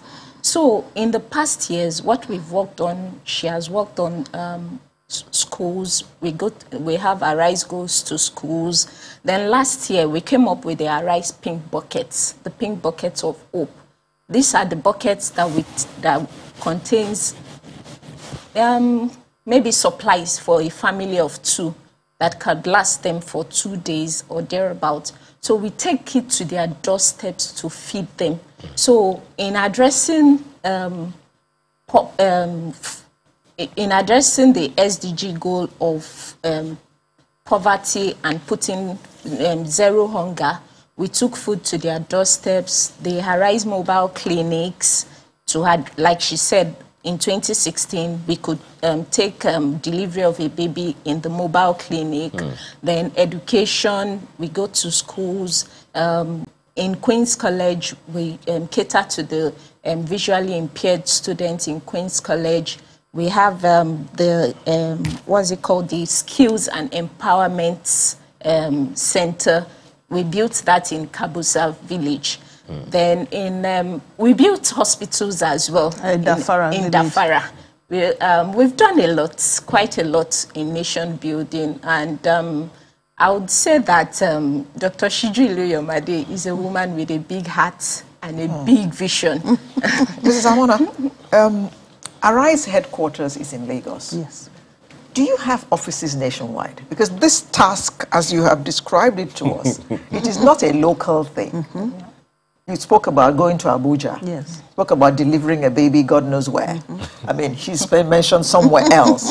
so, do you have branch offices, so to speak? Uh, for now, we have Lagos and Abuja. We have Lagos and Abuja. Okay. That's what we have for now. But that's solely, I wouldn't want anybody to look at it as the paparazzi of having first ladies with us every year. There's a reason for it. We want to be able to establish and get them to partner with us mm-hmm. in this Arise ideology so that subsequently we now have offices in all the states, mm-hmm. representation. Mm-hmm. But you know, they will keep on telling us, I'm an Arise woman. Anything you need to do here, just tell me and okay. we move. I was okay. going to ask, how significant has the impact, has having the partnership of first ladies mm-hmm. impacted on the project Arise Women? Is drawing the attention to the sustainable goals, sustainable development goals. If we, as a small NGO, like I would say, have been able to achieve 12, and they come every year and they hear that, oh, we started from achieving three to five to seven, now we're on the 12th one. It's a challenge. That's the way I put it. Okay. It's a challenge to them that, okay, don't just come here. Look at what we are doing. Model it too for your community. And how and significant has that been? Yes, so far, so good. I think um, for, we've had impact in the north, in the east, and of course, the southwest, mm. we've had a lot of impact. What they do is sometimes they even come back to us and ask us, how do you do it? How do you get the women to come? Now, it's not just about women. When we started, we said, oh, we're looking for a team, and we said, arise for a woman today. Every day, wake up saying that I will help another woman. But along the line, we found out that men were registering for our skill acquisition, and we couldn't send them away. You can't. We can't. We can't. we had to do that. They okay, Yemi. Yemi, yeah, in mentioning the goals which you uh, were working on, you mentioned leadership. Yes. Mm -hmm. Are we expecting any Arise women to contest in the 2023 election? Why is that funny? Did I say anything funny? It's coming up. It keeps coming question up. keeps coming up. Coming So, up. Oh, okay. All right. You ask women to arise. You can't ask They them have to a say- reason. okay, can I correct a misconception? Okay. This, when we started on that round table, and up till this morning that I was coming here, there's nothing like that. But if anything comes up amongst the committee members or any of the other Arise women that they are called to come and serve, I'm sure they'll be willing to do so. But for Eh, Dr. Iluyoma, Okay. she didn't come out so that she could go into politics. I'm not talking about her. No, I'm talking, talking about those you have trained. Yes, those we have trained. Yes. The idea is for them go and do likewise. You have been fed. You Go have been feed empowered. others. Uh-huh. Yes, go and help others. If you find yourself, yes, we have people. There is an arise man that the wife started with us, and he would always be willing to help. Medical outreaches is now a member of the House of Representatives in Lagos State. Interesting. He contested, told us he Uh, was going that'll to. The House of Assembly. Yes. That In was Lagos go- or yeah, in Abuja? He's ah, he's in Lagos. Okay, well, leave that no, one. I can, he's yes, member he li- he's inside. he lives on the island. So he told us he was contesting. So we know that from this we are building capacity Okay. for leadership. Okay. Yemi, you. Yeah, um, over the years, we've had the Women in Leadership series where the big sisters mentor the younger girls like us. so, what the big sisters actually do is that um, they um, they invest in us. For instance, I have I have gotten a lot of skills and on skills that I learned through Arise Women. So they they mentor us to do bigger works than them. So So are you going to go for the, local government chairmanship in your area?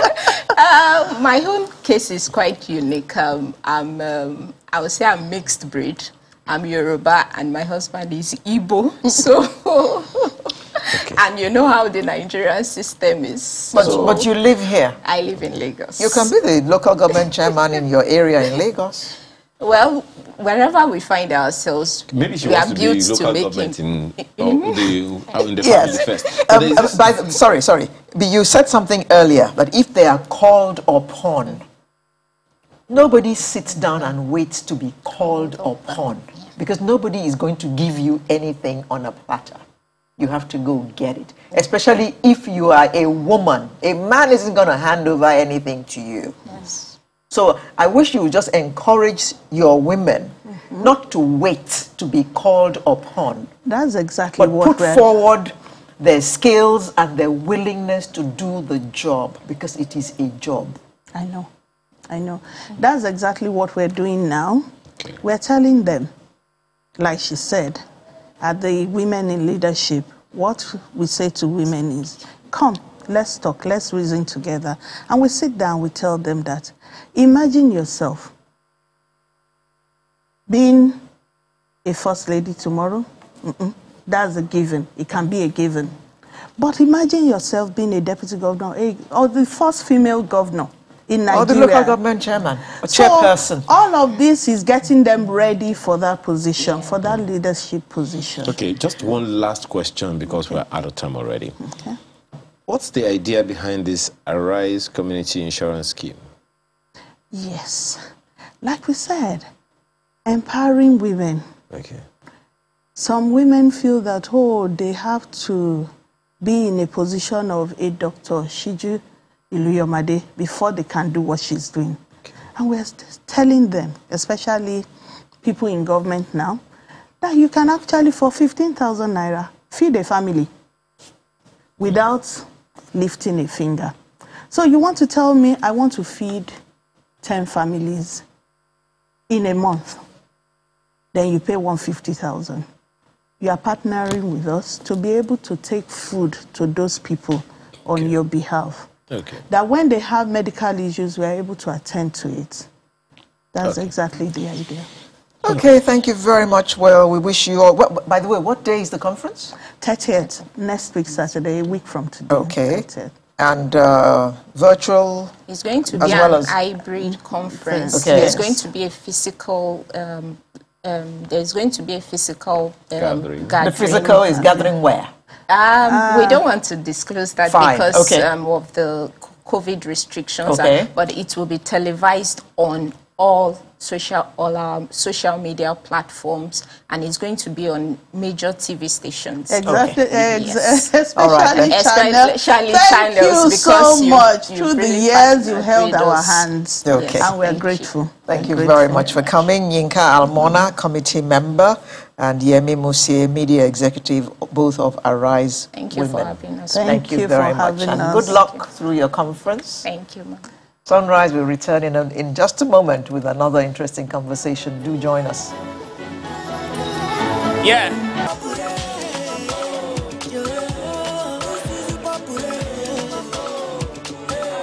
That's the next item on the, to use um, Zeruda's words, the agendum. Well, that is the singular. Oh, well. Yes. No, no, no. We have an agenda. Okay, the next agendum. so agriculture is what we want to talk about now. It's a favorite topic of mine because take it or leave it. It's it's a major occupation provider. Uh, and My partner wants to be a, a- a- um, an, an agriculture. I am already in agriculture. agriculturist. I'm already in agriculture. Note, I didn't say farmer. I'm already in agriculture. Okay. Yeah, I give you a sample. Agbekoya. I give you a sample in the Of- morning. of Agbekoya. So, um, a large portion of the people of Oyo State uh, are engaged. Uh, over 70% of the state's workforce are in this practice already. Oyo State has a population of 415,030 farm families, according to the 2007 crop enumeration exercise. Well, maybe Oyo State should actually be the basket, food basket of the nation, but we don't know that about yet. Let's let's get into the conversation. Don't let Benue State hear you. I won't let them hear. well, he's um, uh, Dr. Debo Akande is uh, next guest is uh, executive advisor on agribusiness Oyo State and director general of Oyo State Agribusiness Development Agency, OYSADA. Thank you for joining us this morning. Thank you for having me. Um, let me f- start by accusing Oyo State. Ah. Yes, Oyo State is my state, so I can accuse you Good. of taking the back seat in agriculture um, uh, over the years because we all know we are all beneficiaries of some of the big things that agriculture did for the Southwest in the First Republic. And um, the famous Cocoa House Cocoa is House. a monument to, the, to that claim. So, Indeed. what happened and how are you reversing the trend? Oh, uh, thank you very much, Ayo. I heard you earlier saying that, uh, and I think I heard Madam Alero saying that uh, you are an agriculturist. Uh, probably you're a farmer or an agriculturist. I think I will start from there. I'm hoping that you are not aiming towards the uh, cutlass and hoe agriculture. That was my grandfather. And then you ex- exactly, and that is where we're going to be starting from. Okay. Um, what we've had, I, I, when we came on board, we I did an analysis of um, what has been going on in agriculture um, within the state. And by the way, as a way of an open declaration as well, I work with IITA. I'm a scientist. I still work with IITA. And um, I look at the financial aspect, you know, look at the budgetary allocation and things like that, um, policies, programs, and let me start from the, from the financial aspect. From 2017 to 2019, um, you find it very difficult to believe that the total budget that is allocated to agriculture is around 3.39% of the total um, budget of the state from 2017 to 2019. It is not enough to just look at that. Of that 3 point something percent, let's, let's even say around 4%, the total spending is less than around 20%. Okay? Of the Of the 3%. Of the 3%. Uh-oh. Why is that? I will go to that. And if you look at it, the around 20% that we are making reference to, you look at where they are allocated towards, then you start seeing the reasons why Oyo State has gone back on the issue of agriculture. One, African Union, CAADP, recommend that for you to do anything significant in agriculture, your annual budget spending, not allocation, should not be less than 10% of your budget. Of your budget. So, if you look at what is going on, it means that the state has not, during that period, prioritized agriculture. You may prioritize agriculture by word of mouth, but your actions need to be seen going into that particular area as well. So if your resources is not um, allocated towards that area, then it's an issue. I also made a reference to the fact that where is this budget going to? Less than 5% of that budget is what goes to what we call the rural infrastructures. Now, agriculture in this DNA age require quite a lot of resources. Agriculture in this generation has gone beyond the issue of cutlasses and hoes. We are making reference to what we can call industrial agriculture. Um, I've had on numbers of occasions where um, we have, uh, as a nation, mentioned that we want to diversify from um, oil to agriculture. And I question um, the action we are taking, you know, towards that particular area, especially uh, what we are doing in moving from rudimentary agriculture, the, the um, subsistence agriculture, mm. To a more of an industrial agriculture. Okay. If you are focusing towards industrial agriculture, and I'm going back to your state now, one of the critical things that you need to do is to ensure that your infrastructures in the rural area are well built and tailored towards those industrial agriculture. Uh, that, that's quite a huge spending. Um, as I said, uh, I've had to visit rural parts of um, some rural parts of Oyo State, right. and I, have found out that um, the rural infrastructure is not even anything to write home to Yeah, write about, correct. much less write home about. Because the, if anything, if memory serves me right, the infrastructure that we had in some of those rural areas, they, in my opinion, date back to the 60s, and there has been there had been nothing done to upgrade that. And we, you also know how difficult it is to transport anything from the farms if we do not work at that.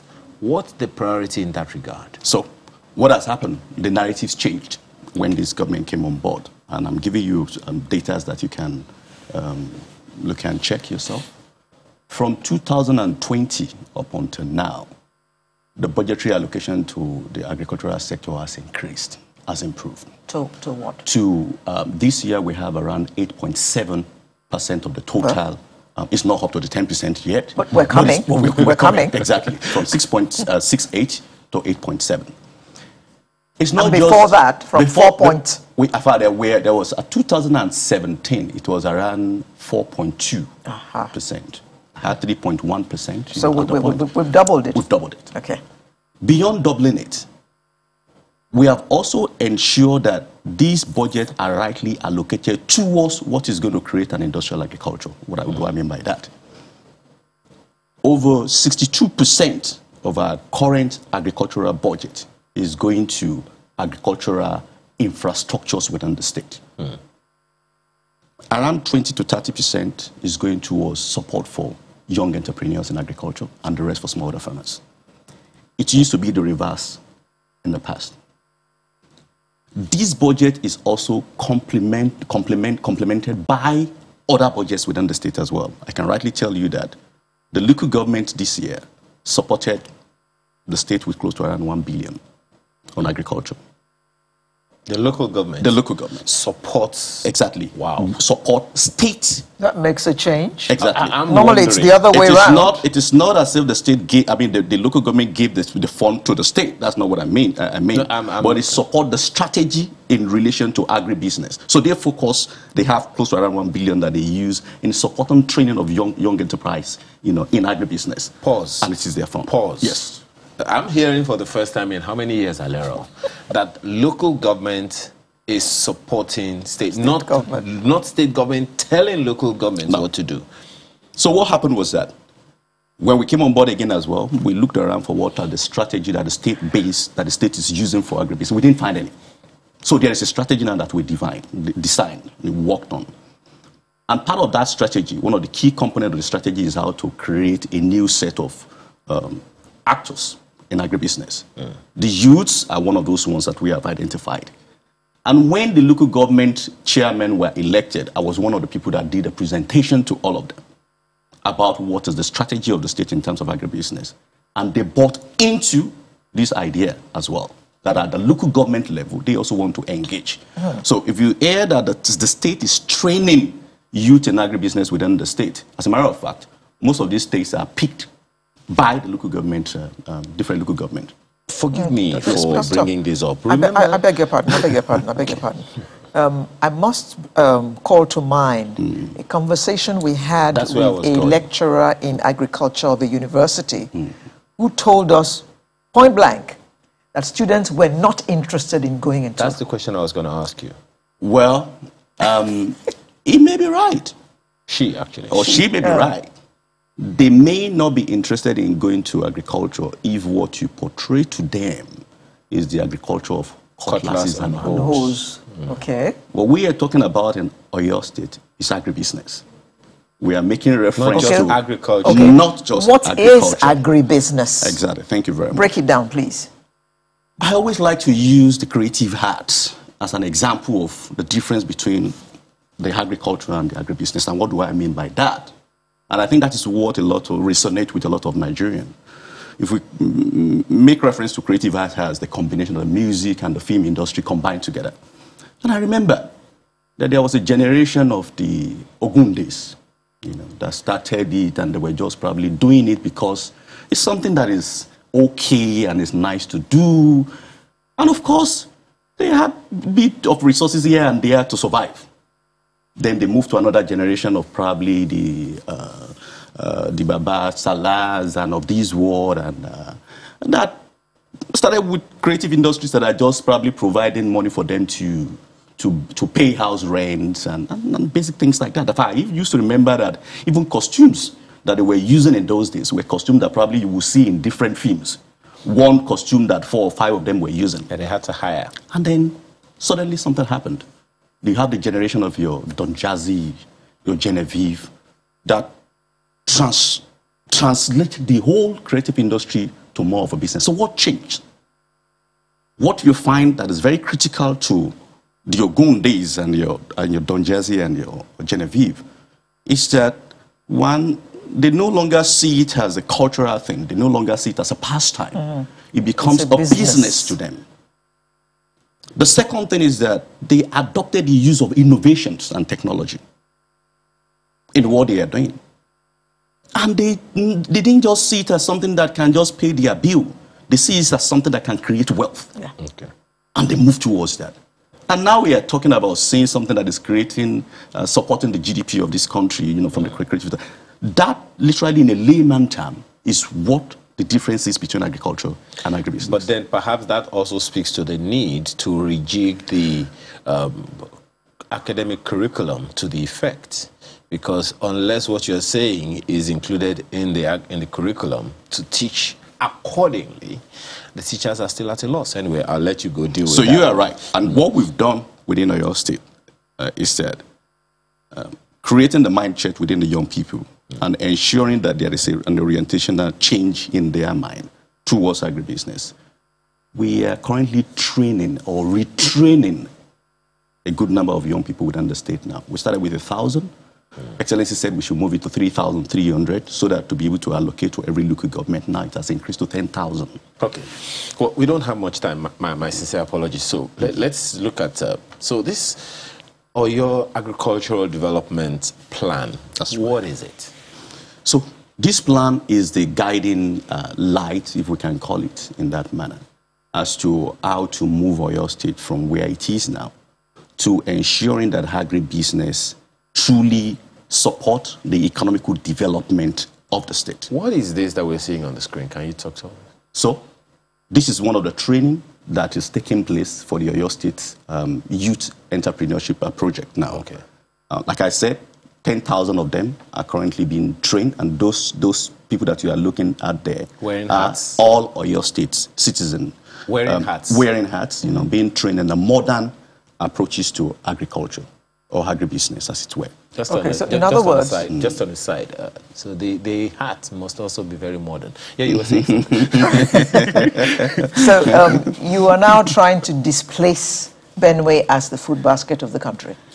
Well, in reality, I think we, we're not even using Benue as our benchmark. Oh, Okay. okay. So where are you using? Uh, we, uh, if I can give you something very small statistics, Oyo State's landmass, 28,000 square kilometers, is bigger than the whole of Rwanda as a country.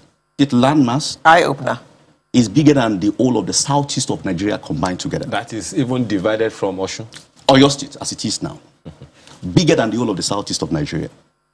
Belgium is just a thousand square kilometer bigger than Oyo State. So we are benchmarking ourselves against combined southeast of Nigeria, Rwanda, or Belgium. Okay. And what's the goal? What's the Ambition. goal? Yeah, I mean, Yeah. because, you know, the, the, the challenge for me here is uh, even the president said, if you remember, was it 40% or 20% of, the, of Nigeria's land mass that is being used for anything? Habitation, agriculture, whatever it is. And I'm pretty sure it's the same for Oyo State. You know, with all of the arable land, how much of it is being used for anything? Currently, maybe we are using less than around um, 5%. I did an analysis and I said that even if we have up to a million farmers, smallholder farmers within the state, if we have up to a million farmers, mostly smallholder farmers don't do le- less than half, half an hectare at most. FAO data, any data. That means that we are only using around um, 5,000 or less than 5,000 square kilometers of the 28,000 or 26,000 square kilometers that we have in the state. So there's large room for And over 70% of this land is arable. So what are you waiting for? So that is what has determined the actions we are taking now. I probably think you've heard that we are establishing agribusiness industrial hub across the whole of the state. So we've started. We are not, it's not hypothetical. We are not saying we are building. We started building it. Okay. So the popular and known fashola is now being revamped. Okay. 1,200 hectares of land, you know, being built as an agri- agribusiness industrial hub. We are doing similar thing in Eruwa. We have close to around 10 to 11 um, farm settlements that were left moribund. If, I, if you go to the state, I, I will be honest with you. At a point in time when I get to go to one of these places, I shed tears. I couldn't. I became emo- emo- emotive. That so some people have vision to establish this kind of a thing. You know, in the 60s, and some generation came and they left. They allow it to become um, um, moribund. But sometimes it's frustration. The system frustrates them. I agree. You know, but the fact remains that have we genuinely even focused towards I remember when we came on board and we have discussion, we have our time to discuss with the secretaries. And the agreement we had with his leadership is that we ensure that all our support that we are giving in terms of infrastructure are focused towards the agribusiness. Well, and it started with that. I don't what's know, happening with cocoa? We, we, we have to go. But before we go, um, you may answer this, that question in this, in this uh, space. What are the opportunities and what's the entry point for anyone who wants to invest in agriculture in your state? You know and I know, and many people would, would, would hold that opinion that doing business with government is a problem because of bureaucracy. You're So right. it's, it's high risk. It is. It is risk. So what's the is there a genuine plan, a consolidated plan, maybe like a one-stop shop that okay, you want to do business? So I we know that this problem is existing, and that is why the state established the Oyo State Agribusiness Development Agency, Okay. which is now the one-stop shop for all private investor or all investor in agribusiness within the state. And I, hap- I happen to be the, the, the DG of the of the agency. Dr. Akande, you have to really vet the staff that you employ so that they're not, they don't frustrate people to come there and then they're asking for you know what. There's a very strong monitoring and evaluation system within that particular Uh-huh. organization to ensure that that thing that you're talking about didn't On- happen. yeah, thing, that's what know. that's what That kill, thing, kills that a lot of these. that thing is. That's what kills a lot of these uh, People are talking ideas. above my head, so, um, but I have to thank you very much uh, for, for being here today. Thank you for having me. Dr. Dr. uh, Debo Akande, because all of the things that you're talking about, well, um, you know, Alero has exposed me to you already, so maybe some he she will be knocking on, my, on your door on my behalf. You're more than Abeko, welcome. yeah. Well, Dr. Debo Akande is executive advisor on agribusiness in Oyo State, and he is also Director General of Oyo State Agribusiness Development Agency. Thank you so much for your Thank you very much for having me. this morning. Thank you. Yeah. So, Sunrise continues in a mo. Do stay with us.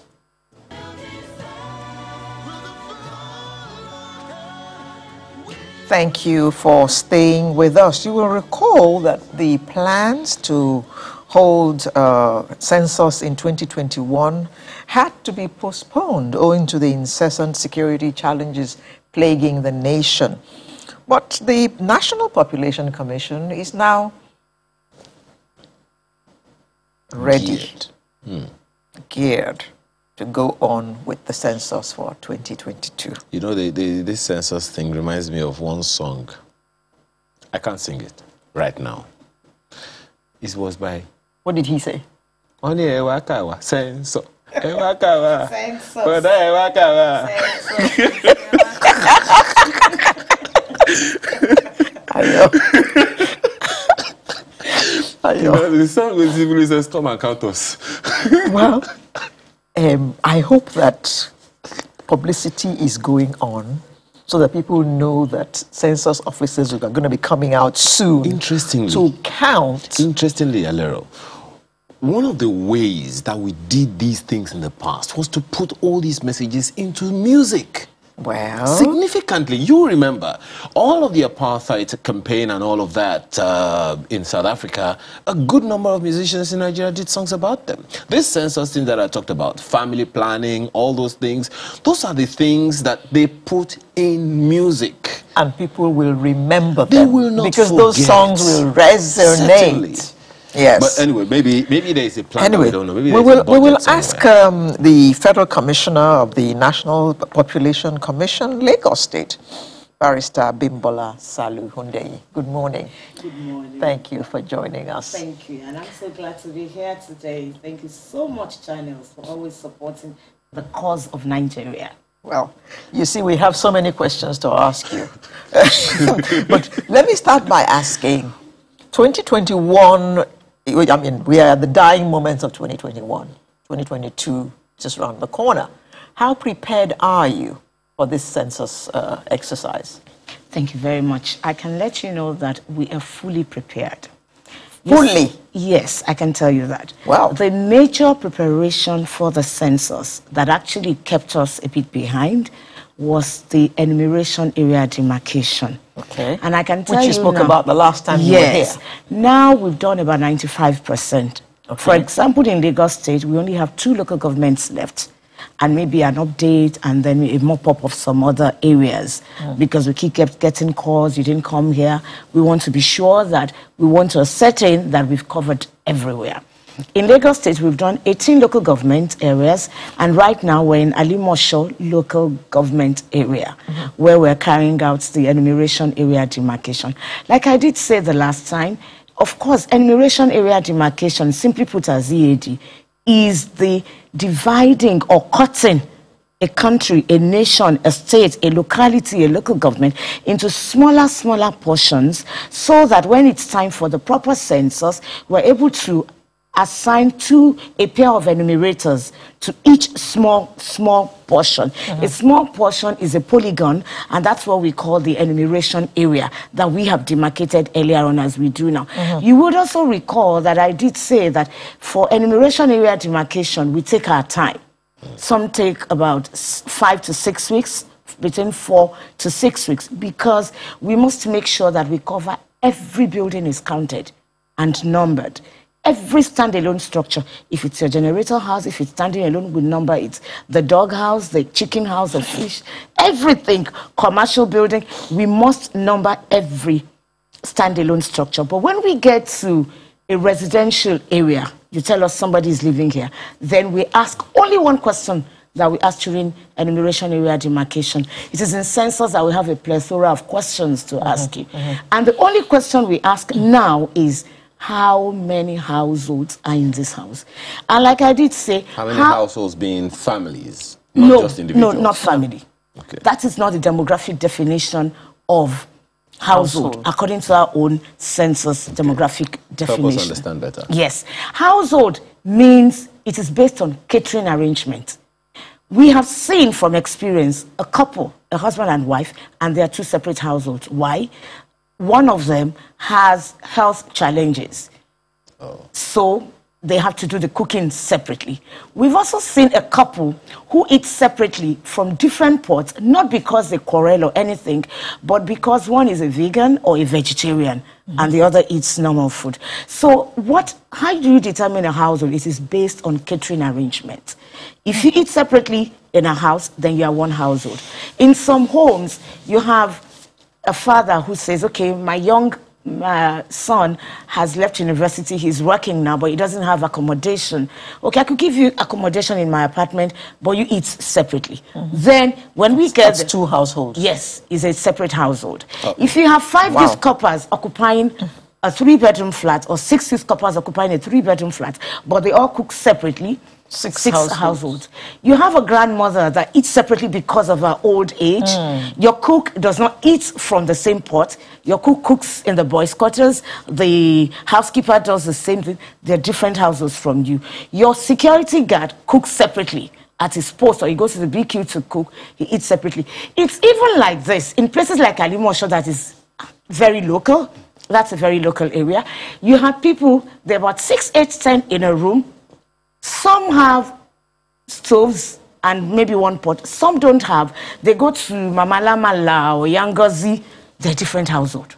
It's purely based on a catering arrangement. And then when we move from house to house, but we must number every standalone structure, whether it's a fish house, once it has a roof on it. When we get to places like markets, we determine the numbering by the kind of roof. Once your roof is even from the next store's roof, it's a separate building. So we number everything. The reason is in Nigeria, we just don't do census. We do population and housing census. So we must count every structure because that constitutes the housing aspect of the census. And then when we count all these, we then get to some particular buildings. You know, now we've also leveraged on technology. It's not like in 2005 where everything was paperwork. Hmm. Now we have a personal digital assistant and we've taken the pictures, the map of every local government through satellite imagery and we have the GIS inbuilt. And so we go with our PDA. When we get here, you open up your map, it tells you exactly where you are. This is channels. And this is where you are in channels. That brings to mind all these um, people we hear coming to Lagos by trucks every day who have no um, fixed addresses. Are they going to be counted as well on their They- motorbikes at the road junction? They are. Let me give you an example. At the last meeting we had in Alimosho, was it on Thursday or so? Yeah, no, this week, Tuesday or Wednesday. We, because we usually hold meetings to know the update, how we're going, how many houses we're covering.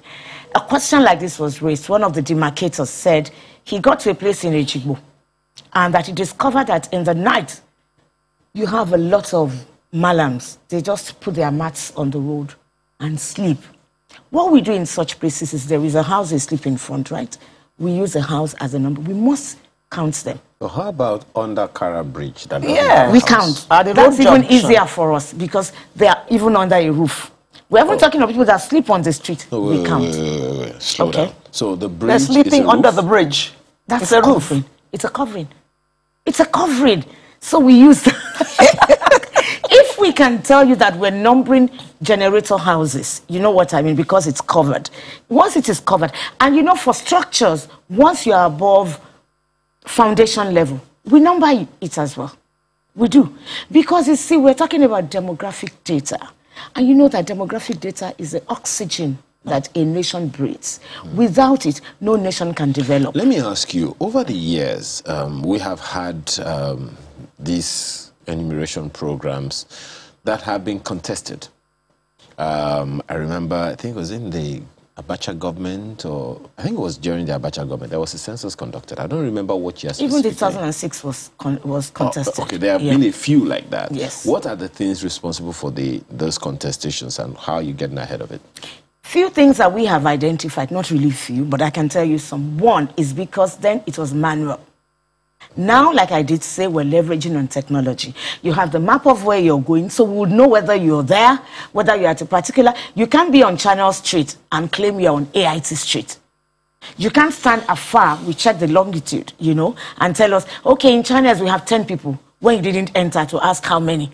You get it now. So we have leveraged on technology, which makes it more precise because we're talking about data. I think that was a major problem. Secondly, because we have leveraged, leveraged on technology, it helps our own data as well.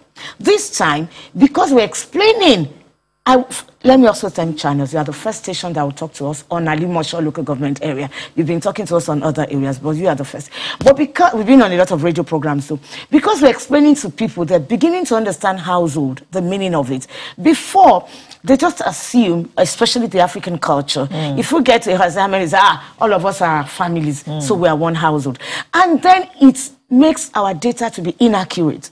So by the time we now assign two enumerators during census proper, which is just about five to seven days maximum, they're unable to cover all the areas and that's why all these contestations come up in court so we've discovered the major thing to do is to get your ead accurate mm. and you know why it must be accurate again it is the ead that forms the basis of any national frame of any country and you know, it is a national frame that the government relies on to create infrastructures, to create even local governments, to create anything that brings modern livability to the people. It is the enumeration area demarcation data. The, the, the, there's one of those, there were also allegations back then that one of the factors was also cultural some people don't like uh, you. You don't. Uh, something That's like true. That. That's so, also part of it. So how how you... what we're doing about that is the kind of thing we're doing with you now that you are helping us to do. We speak to them and explain to them that if you don't let us count your children, you would be the one to lose out at the end of the day. This time, Olomo must more because that's the only way government can plan for you. Yes. For example, you know, we also do birth registration. If you don't do your birth registration, if you don't register you, if you don't know how many children you have in a local government, how would we compel our government to build enough schools for those children? Do you know that if there is accurate demographic data, we can check corruption? Because we'll be able to tell the government the number of houses, the number of youths, the number of women, the number of children, so they need also number of hospitals. And then when they come, when our leaders come with their budget, we can all look at it and say, no, you can't tell you also want to do 10 schools there when there are only two children. That is not true. Then why are you not having a road or an express road from Igando to VI if that was necessary? You yeah. know what I mean? Yeah. Or why do you want to have an express road from Igando to VI when you know that the Igando people are local Aworis and they'd rather just remain in the environment, build the schools for them there, build hospitals, build cottage industries for their youths and let them remain there. It is demographic data that is the number one way of checking corruption. Mm. And it is because we lack it as a nation. That's why it appears our leaders are just beating their fists in the air. It's impossible to manage a nation successfully without, without data. data. Now, Mrs. Sunday, um, I am assuming that this kind of um, engagement is also going in the states. You are the commissioner for Lagos State. So, are you therefore saying that this time we're going to get, well, should we say, near accurate details of our numbers in Nigeria? I want to say that I am very confident, particularly in Lagos State, with the kind of work we have done. I have been on air practically every day explaining it to my people. Don't forget I'm also a Lagosian, I'm Awori, and I'm from Igando. So I know that my people are very local. A lot of people do not understand. It's funny. Even our so-called educated people don't understand the concept of household. The problem, we are going to Eti-Osa after Alimosho. The problem I'm envisaging in Eti-Osa, which we've already seen, we have counted over a thousand gated estates in Eti-Osa. In some places in Eti-Osa, you can't enter their estate. Look at Banana Island. You must have a code. And the code will expire within 30 minutes. VGC all yes. these areas. And because they're also highly educated, there's an air, with you respect to intelligence and all that, of arrogance. They look at you, why are you disturbing me? You're disturbing my family. So we're using this medium to plead with them. Just give us, it's a two minute question. How many households? If you understand households, then we just click it in and that is it. Okay. Um, what we were talking about at the beginning of the segment, your uh, awareness campaign I mean, all the cultural things we've spoken about, all those barriers will be broken if people are, aware that this thing is happening, they identify with it. And it's for their benefits.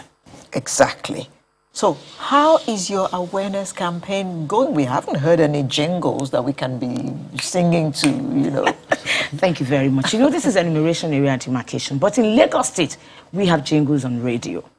We actually, you know, I did say it the last time that we approached channels. When we saw your bill, we knew that. Um, you it's just a microcosm, really, because we were very. Uh, but you know, like um, national, like my big sister said that, but we all know that Owolopa, that kind of money, mm. Lagos has not been able to. The commission has not been able to put You know together. why? The commission treats every state on equal basis. So whether it is Bayelsa or Nasarawa or Ekiti, you get 10 naira that the same Lagos gets.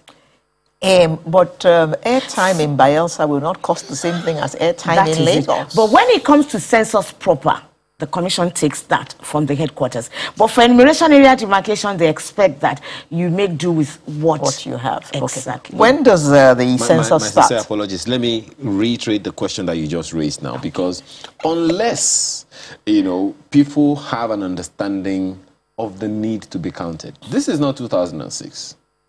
And this is not 1995. Mm-hmm. This is 2021, and you're going to be doing this in 2022. Mm-hmm. If people do not know and they're not carried along, they're not given an understanding, they will not respond. And we have talked so many times about the poverty level, illiteracy level, and all of that. So, um, shouldn't the National Population Commission be thinking about voting massively for publicity? That's so correct. And I want to assure you that the current chairman, every Saturday, we have a program with NTA.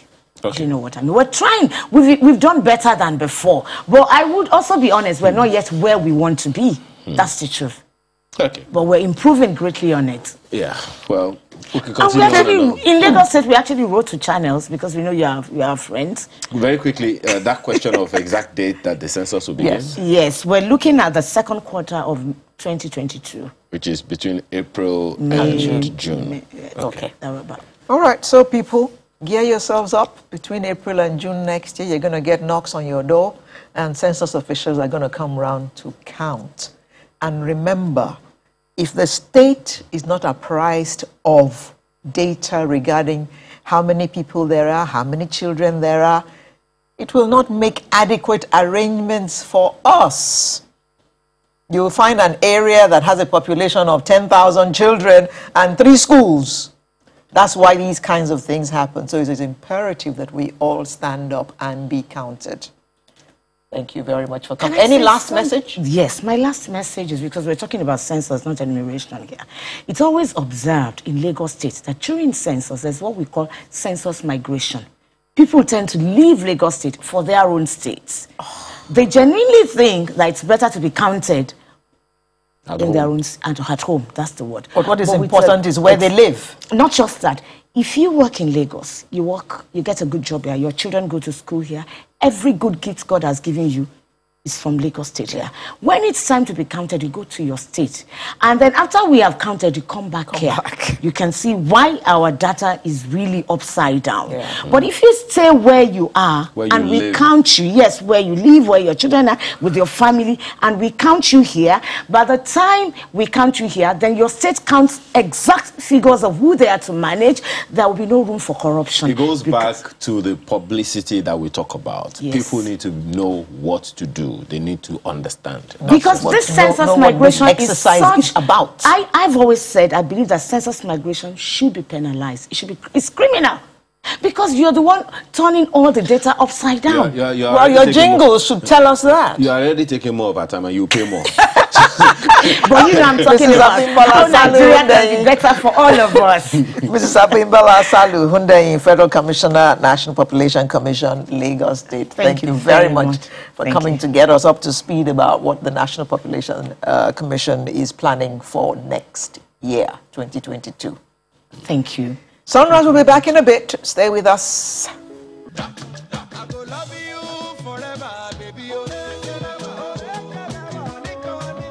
That's the next um, topic that we are considering dyslexia.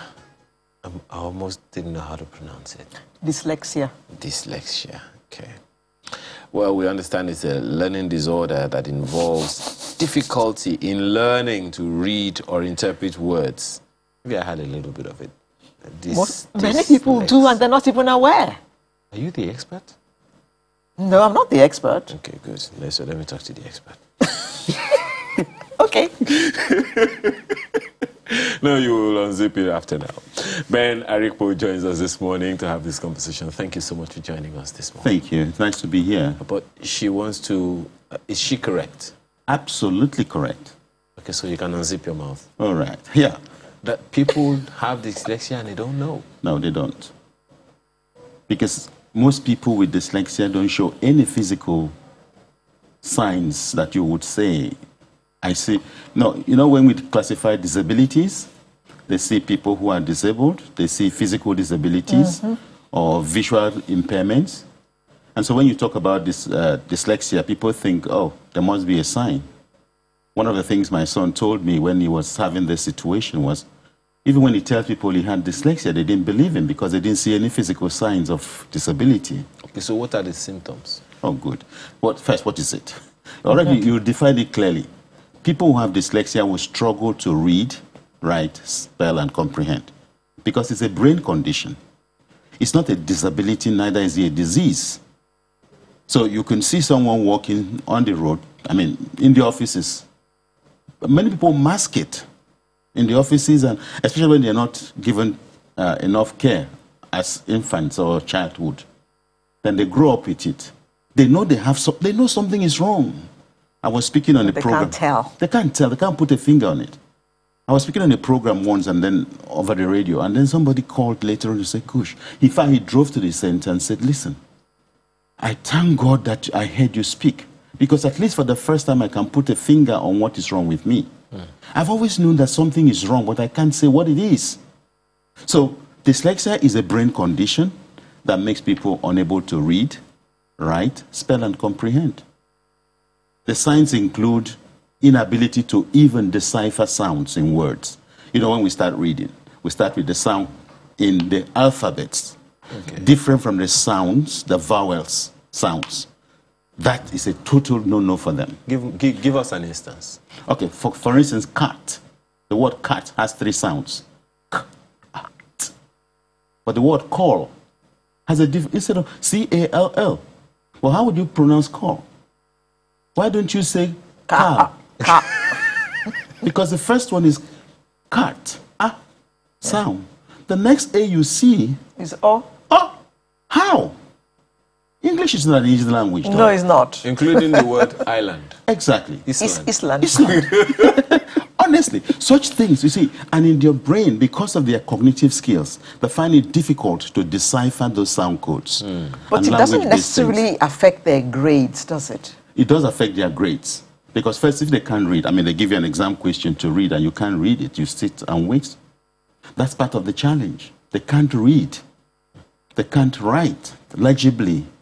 They can't spell correctly. And because they can't read, their reading is choppy. They count the words. And so those words they're reading don't make sense. So comprehension is also affected. In the end, Wow. they take too long to even answer questions. So that's part of the thing that parents are struggling with. And the challenge is because they do not show any physical signs, they don't show any disability, as we say. Hmm. So people don't. Ah, recently, a father told me when he came, his wife had been pushing, and eventually he came after the child had done the assessment. When I was giving him the result, he was looking at me. I mean, you could see the disdain in his face. At the end, he said, See, so you found an English name for my child's laziness. I was. I was taken aback. I said, Sir, so despite It's everything I said, despite the symptoms I showed you, hmm. his inability to focus and concentrate, you saw that. He said, Yes, that's laziness. He, does, he just does what he likes. Is it a class condition or it's just a condition? It's, it's a condition, it's not a class condition. It's not a respect of environment or quality of teaching. It's just that the, that's where the person is born. You see, God in His infinite wisdom has created people differently. He's created this ones also differently. There's a strength they have which we don't maximize. Our educational system does not follow that trend of developing them. And I don't want to talk about education today. now, they are wired in such a way that they are not they don't follow routine. If they, that's why they do better in uh, objective exams. Because looking at the question in ex- objective exam, they can guess the answer. You know, nine times out of ten, they guess right. But when they get to the essay type question Mm. to write, some of them have a brain-to-hand coordination problem. The brain, they know it, but they can't write it. There's no connection between the brain and the hand. So they have to be taught how to do that. That's why when you ask them questions orally, they can answer verbally correctly. But then ask them to write that. That's where they struggle, because they can't. There's no connection. But uh, as that father you talked about said, uh, it's natural for many people in our environment to think it is laziness. Yes. So how significant is that challenge with parents tracking that as an issue that they need to give con- uh, attention to? Let let me give you typical statistics.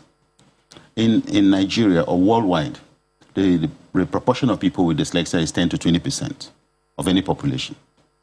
So if you have a classroom of um, 10 students, let's assume, it's more likely that 10% of them, 20% of them have dyslexia. But recently, in one state in Nigeria, I don't want to name it because the research has not yet been published, the statistics showed that one in three children in public primary schools in that state show significant signs and symptoms of dyslexia. One in three. Now, why is it so prevalent in that community, in that uh, area? That's because the research was done in the first instance. It could be that it is widespread across all Nigeria, but because nobody has done the research. We don't know. Yes, Yes, we don't know. Yes. But it's also because if you look at the way, I mean, I've, okay, let me put another factor in there. Teachers, 87% of teachers who came to our training in 2019 never heard of the word, nor do they know the signs and symptoms of dys- dyslexia. 87%. These are the people we trust our children to. And most of these people came from private schools that are expectedly better than public schools. I mean, not in Lagos, though. Okay. Um, uh, uh, this might be a little problematic. This question might be a little problematic. For how long has this been on? We have been at the Dyslexia Foundation, we've been running since 2015. I mean, for how long? If can you backtrack how for how long we've had this as a peculiar issue in Nigeria? It's always been there. In 2015, when we started this process, well, I started, I came into it because I had a child with dyslexia. At nine, at nine years old, I didn't know. My wife was always telling me, uh, this boy is not doing well. I said, never mind. You will- don't compare with his siblings. He will get over it. He'll catch up. He will catch up. And all parents, and that's the attitude of most men anyway. Women pick it up faster than men because women are closer to the children in terms of their education. Thank God, and thank God for good women. But the time she traveled, as God will arrange his own things in his own way, the lesson teacher traveled or fell sick and she traveled and I was given the burden to take care of his revision to go back to school. Of course, that's when I discovered it. My wife was correct. Hmm. And then I started looking for a solution for two years and I didn't find any within Nigeria. So I had to take him abroad, and then, to the glory of God, I came through a brain training program. I couldn't afford to do it there because it was expensive.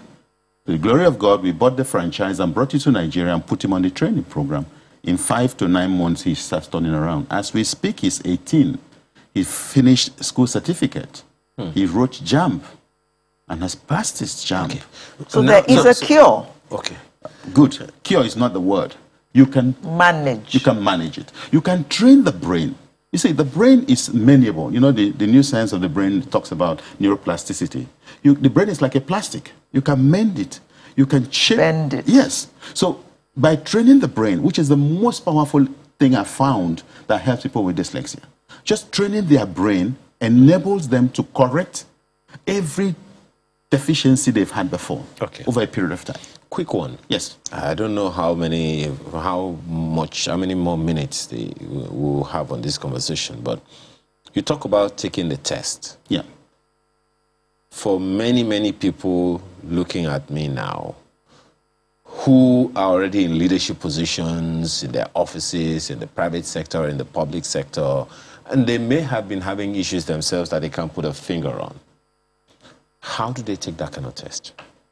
There are many ways of taking the test. One is even in your home, if you contact us within your home, you can take the test right there.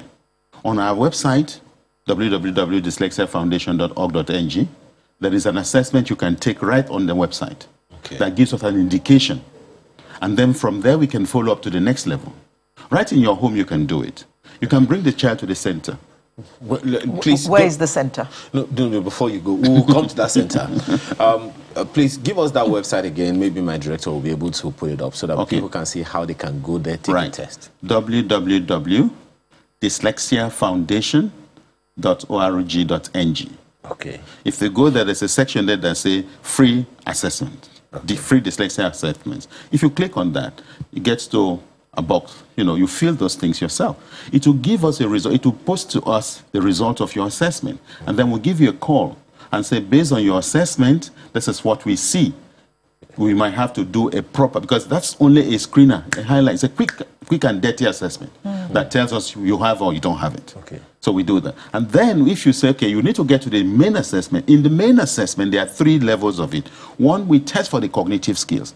Because behind every struggling and learning challenge is a cognitive problem. Hmm. Whether it is found and rooted in autism or rooted in. Oh. Yeah. Someone can be autistic and still be dyslexic. Some people are Oh, interested dear. now. Yeah. Dyslexia Foundation dot dot org dot ng. Yeah. Yes. Okay. Now, so you're saying that dyslexia is connected to a number of other brain conditions. Yes. Uh oh. Or the brain condition is connected to other learning challenges. Learning challenges. So you could be autistic and also dyslexic. Wow. You could be Double you could- jeopardy. yeah, you could have cerebral palsy and then you have dyslexia. Dyslexia is just that bit that has to do with reading, writing, spelling, and comprehension, and most times attention. How far, if it is undetected hmm. and consequently un, un, untaken care of, not taken care of, Yeah. how significantly does it affect someone's trajectory in life? Wow, everything. And honestly, see, when it's untreated, when it is not managed at the time it should be managed. Now, you, let's, let's assume one of the greatest challenge we find today is the number of children who are out of school. Even if you take Lagos, for instance, why do people fall out of school? Most of it is traceable to dyslexia. When they go to school, they are unable to read. The teachers join the class in making fun of them. They lose their self esteem. The next thing is they run out of class to the streets. What do they do when they get to the street? They find some activity. 80% of juvenile cases in US, and the research has not been done in Nigeria, I'm, I'm hoping by ex- extrapolation in Nigeria, are the result of uh, dyslexia. People unable to read. Yes, you have helped us to scratch the surface. And Yes. if we didn't have another segment coming up, I would say we'll take this on continually. But um, um, this is We- definitely. we'll have to we'll have to bring We'll you have back. to bring you back to, Please. to have this because this is an eye opener. Sincerely, Mm. sincerely, especially for many, many parents who've been wondering what's wrong with my child. Yeah. But just before I, I go, I'll say that's one of the reasons why, as you know, October is Dyslexia Awareness Month. Okay. And on Saturday from 10 to 12, we're going to be having an open house where we have created enough awareness on radio and, and all of this. So, parents, if you're here and you want to join to ask a question or to clarify your doubts or even meet, for instance, a woman said, when her husband took a second wife, that's when a chicken ate her daughter's brain in the dream, and from then they, she couldn't read again. Such things. Yeah, so we want to clarify this. Yeah. So you know, we need to do that. So on the 30th, Saturday, from 10 to 12, we have an open house. Just Okay. the information is on our website already. You can register through there and be part of it. So that website again is dyslexiafoundation.org. dot org dot org dot ng yes Org. org is on yes org yes Yeah. dot org dot ng yes Well, I have to thank you very much for your time you. this Thank morning. Ben Arikpo. Thank you for such an enlightening time. That's the website uh, on the screen. Mm. Um, you'll be able to find out a little more. Just right there, Yes. get a free assessment. That's right. You can do that right now. Well, Sunrise Daily continues for the home, Home stretch. No, you're connected, so don't worry. You're okay. We'll be back. Well, that's our taste of the week today. And uh, Alvan Ebuka, a filmmaker and entrepreneur, recently he released a short film that highlighted police brutality and the urgent need for the government to reform the police force. He is also famously, famously known, Obiako. Ebuka Alvan is also well known as Alvan Midman. Thanks for joining us this morning, Alvan. Uh, good morning. Oh, good morning. Trust you're well. Uh, first of all, that second part of your famous name, made Midman, not man-made. Let's start from there. Um, the name made Midman, actually, I got that name back then in university. Um, I was having a discussion with a friend of mine, and uh, I was like, ah, God, I want to be a made Midman someday. And he said, oh, that name will fit you. that was how I got the name Midman. You know, I adopted it. I started using Midman because I wish to be a Midman someday. I wish to be successful someday. And um, that's what I'm thinking about. Midman.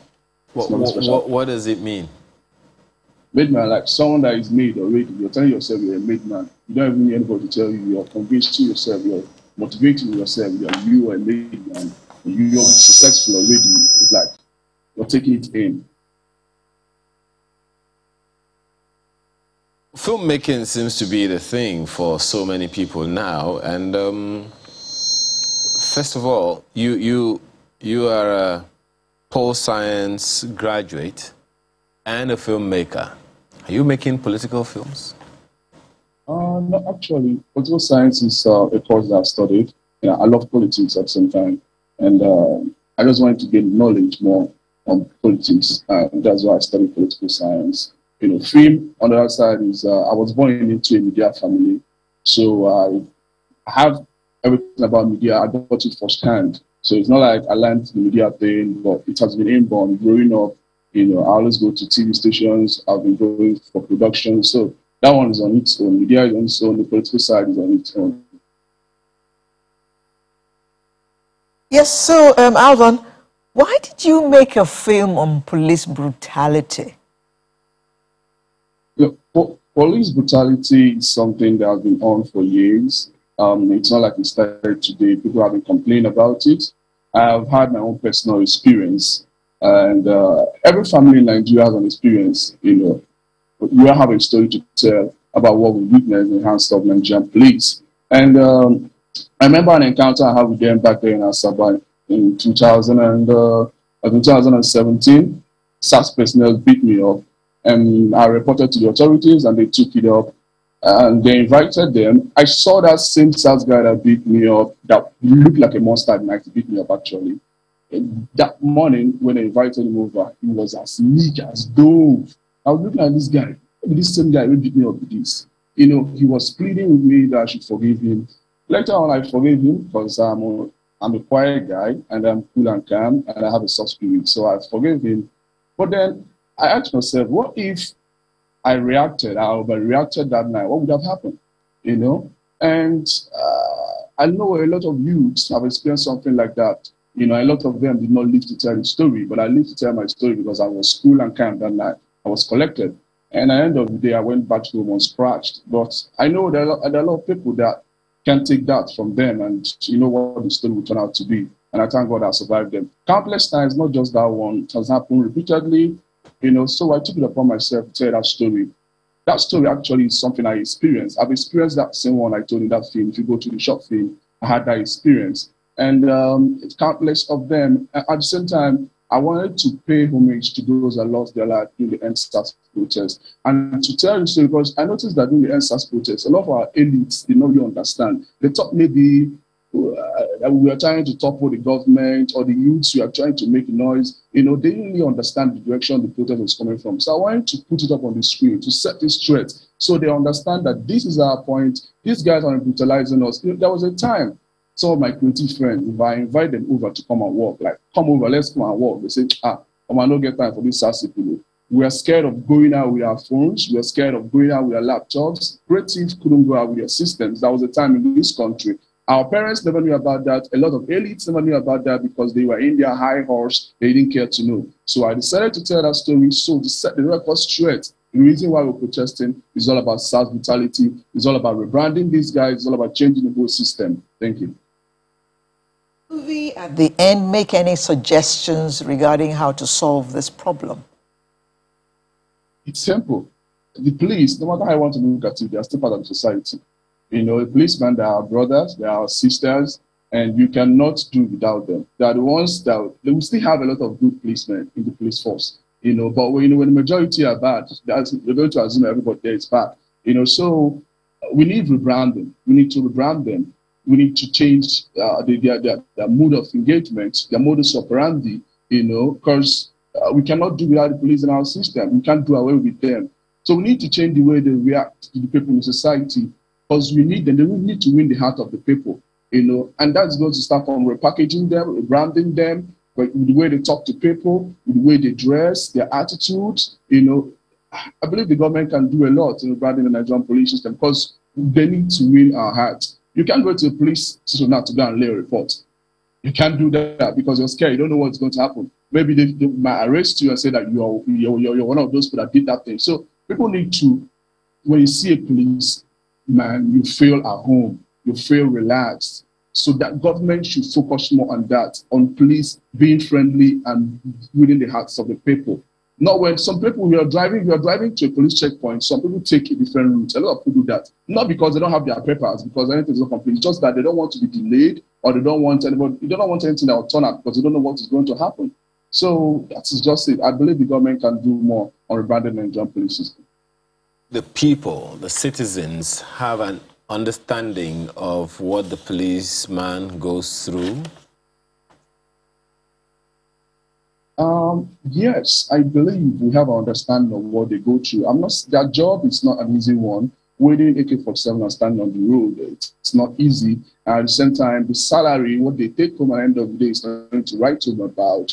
I believe the government can do more in encouraging them because when they are encouraged, they will do more. You know, and if you are taking a meager salary back home, I, I, believe me, I've done. I'm not sure if you're going to do much because I believe that's why they uh, take bribes on the road because uh, they don't have much to rely on, you know, and they need good welfare. You know, their family needs to be fixed up, their children need to be in good schools. You know, they need to be assured that even if they are not there anymore, that their family will be looked up, that their family is going to be looked on. And um, I believe that's actually what the government can do about that.